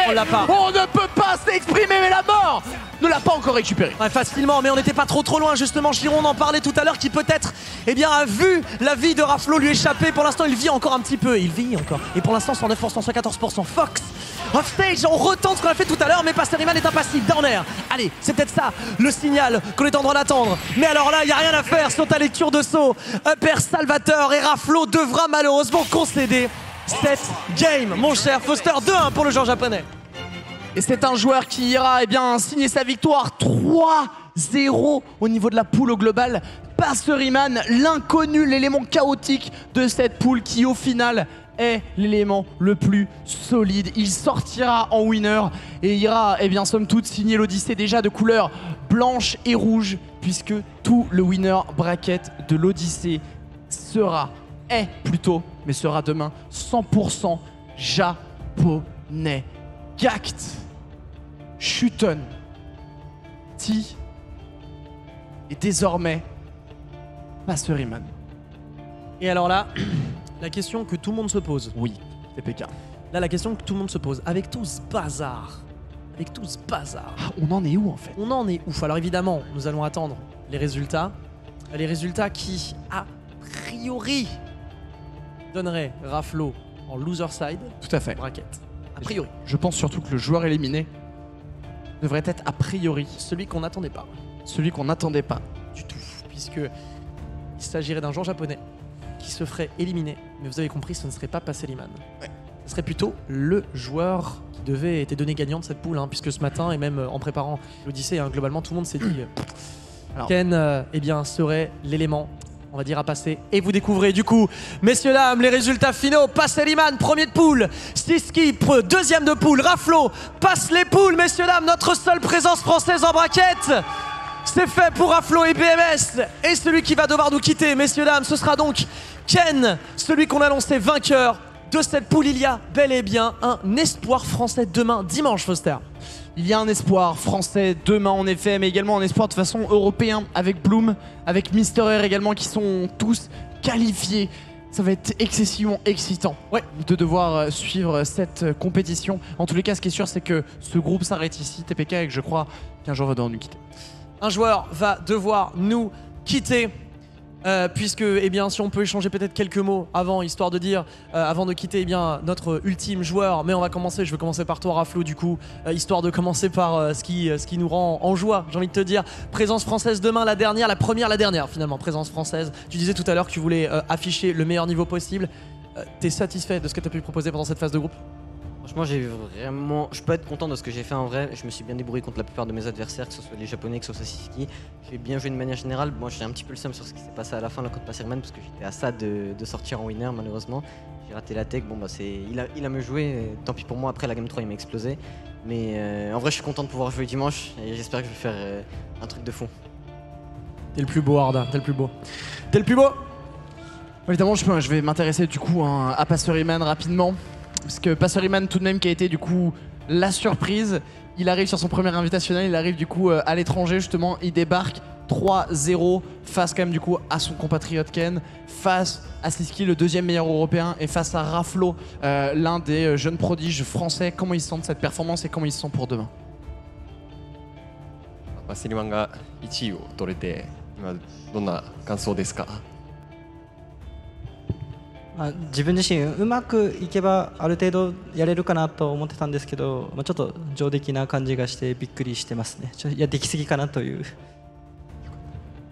Euh, du coup, euh, oui, en fait, il, il était déjà un peu dans cette idée que bah, s'il est, s'il est sur son bon jeu, s'il est vraiment de- dans une bonne passe, il, il peut s'en sortir. Et là, bah, franchement, il est.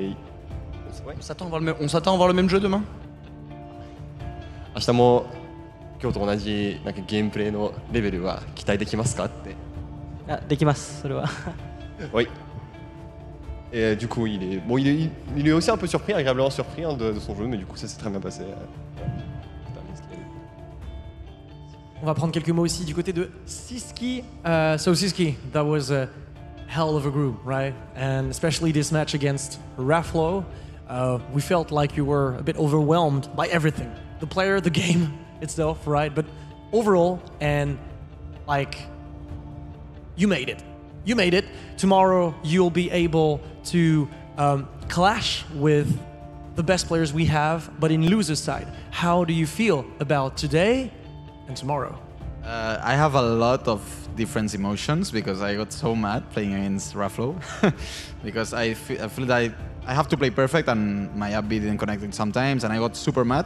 But then I, I like I forfeit literally, and then against Ken it was super well. I, I was not expecting that, and so I have a lot of emotions. Super hyped to play tomorrow and super happy because this event is the best event ever of Smash. So I'm super happy.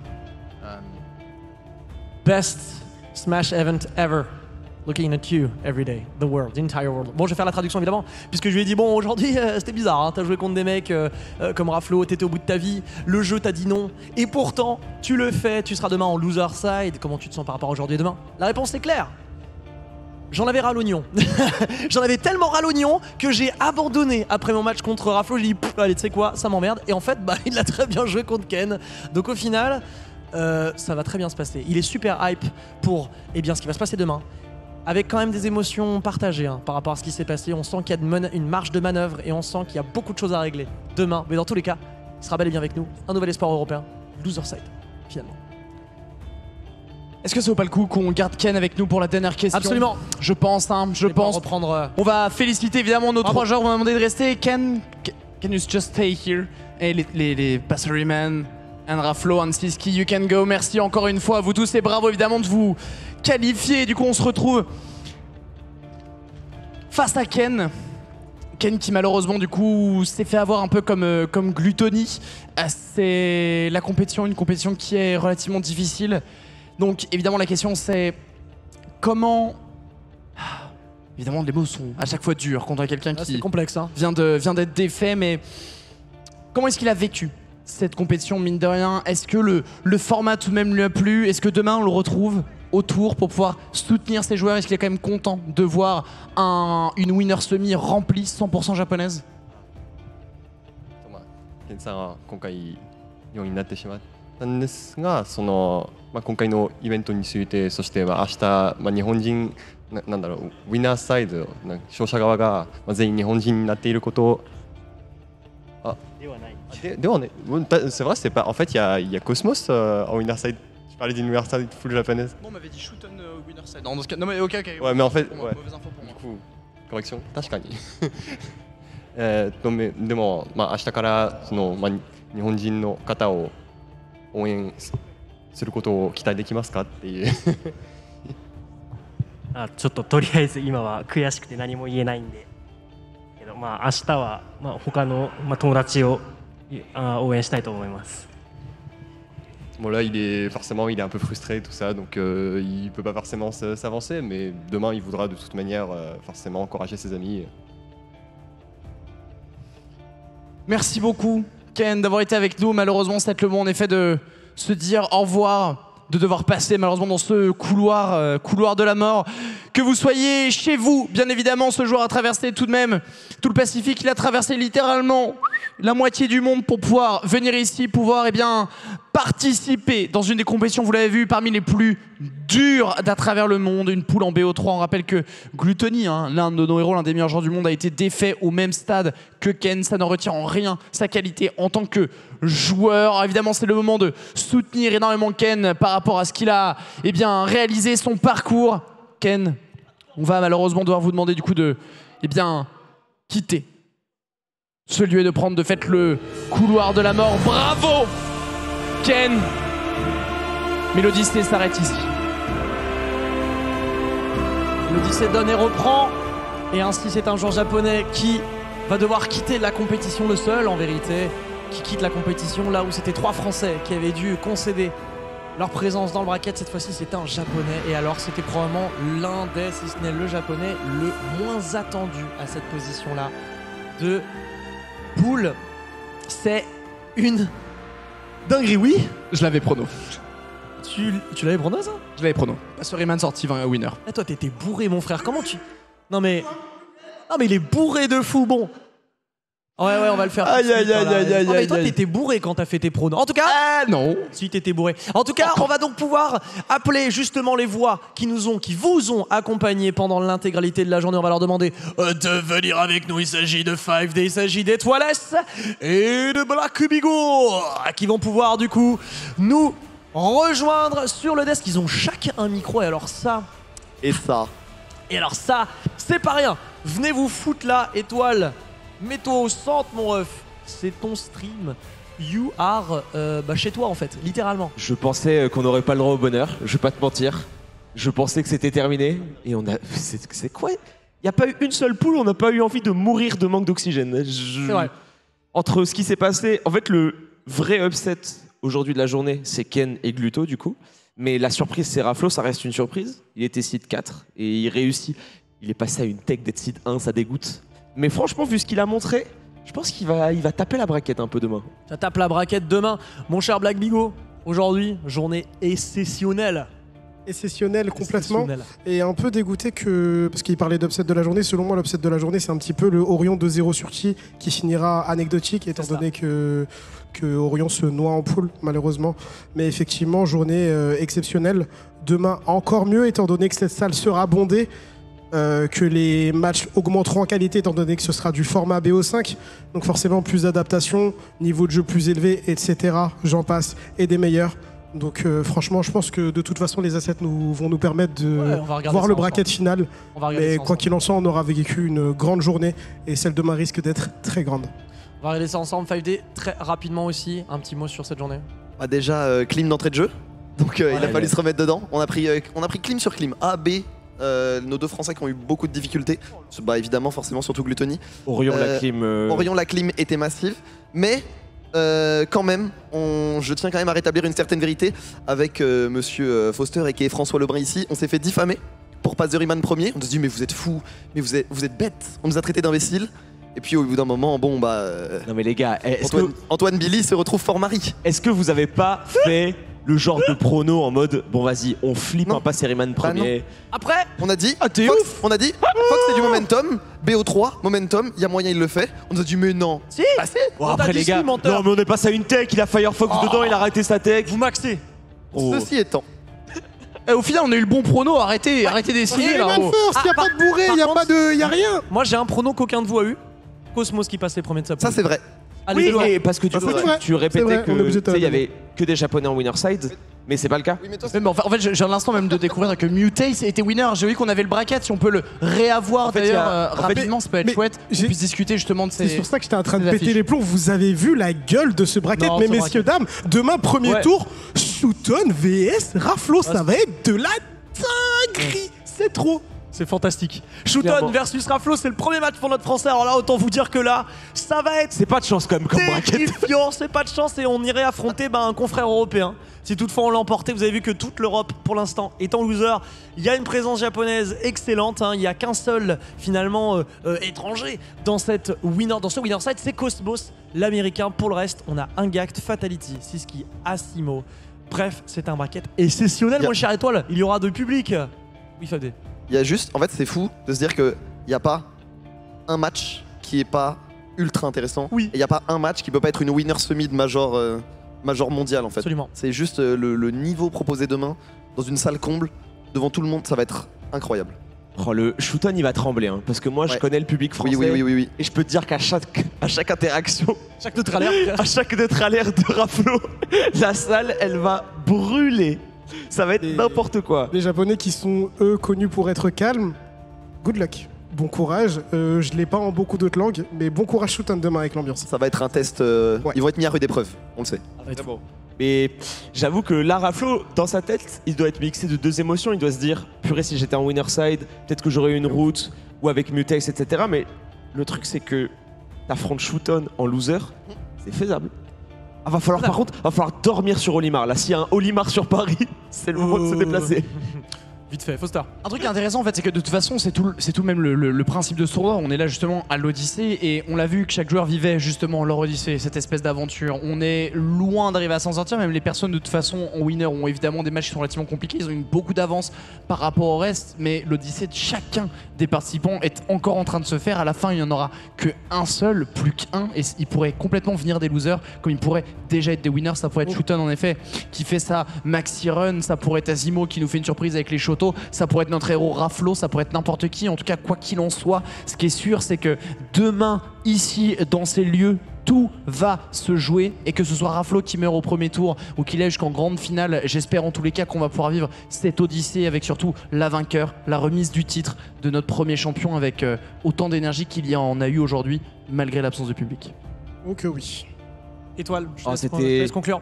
Moi, j'ai trouvé ça incroyable. J'avoue que qu'est-ce que c'était intense de tous les invitationnels, de tous les tournois que j'ai cast, etc. Il y a ce truc-là, il y a eu cette question, on en a parlé du format, on a dû faire ce format par rapport aussi au temps et par rapport à un test, c'est la première édition. Donc en fait, on avait cet état d'esprit de se dire qu'est-ce qu'on peut faire pour quand même faire jouer tous les joueurs qui étaient bien évidemment au courant que du coup la première journée ça se passerait comme ça. Donc en fait, j'étais séparé entre c'est cruel et c'est intense, mais en termes de spectacle, c'était une dinguerie. Oui, bien évidemment, ça nous fait mal parce qu'on a eu nos, a eu nos héros qui ont été un peu euh, victimes de ça et victimes aussi de la pression. Mais qu'est-ce que c'était fou J'ai pris mon pied de fou et j'ai été hyper content aussi de tous les retours des personnes qui me disaient je connais pas trop Smash, mais euh, j'ai des confrères streamers qui euh, sont un peu hachés sur ce genre de jeu et qui m'ont dit purée, j'ai regardé, j'ai passé un super moment et moi c'est des On messages des noms comme ça. Qu'est-ce qu'il y a? On a des noms? non, je vais pas citer de nom parce que sinon la personne qui présente Popcorn le mardi va mal le vivre. mais, mais franchement, que ce soit streamer, que ce soit viewer, il y a énormément de viewers aussi qui me disaient purée, moi Smash je connaissais pas trop, j'étais pas trop dans le délire et qui ont kiffé. Et il y en a même demain qui viendront. Parce qu'à Oh. partir de 14h, et bah oui, il y a plus de 800 personnes qui viendront et qui hurleront, j'espère, dans cette salle. On se retrouvera demain. N'hésitez pas à regarder aussi à les rediffs qui sont déjà sur YouTube si vous avez raté quelques sets. Sur Suivez les chaînes de tous les casters qui sont ici. Grab your Et- tickets. On se retrouve demain à 14h sur la chaîne de Riversol pour les anglophones et sur la mienne pour les francophones. Il est vote encore tous. temps. Achetez vos tickets. Achetez vos tickets. Euh, non, c'est c'est fermé la billetterie. oui, c'est Oh, fermé la billetterie? Mais à demain, en gros, ici même, chez. Étoile. Et à demain. C'est gagné.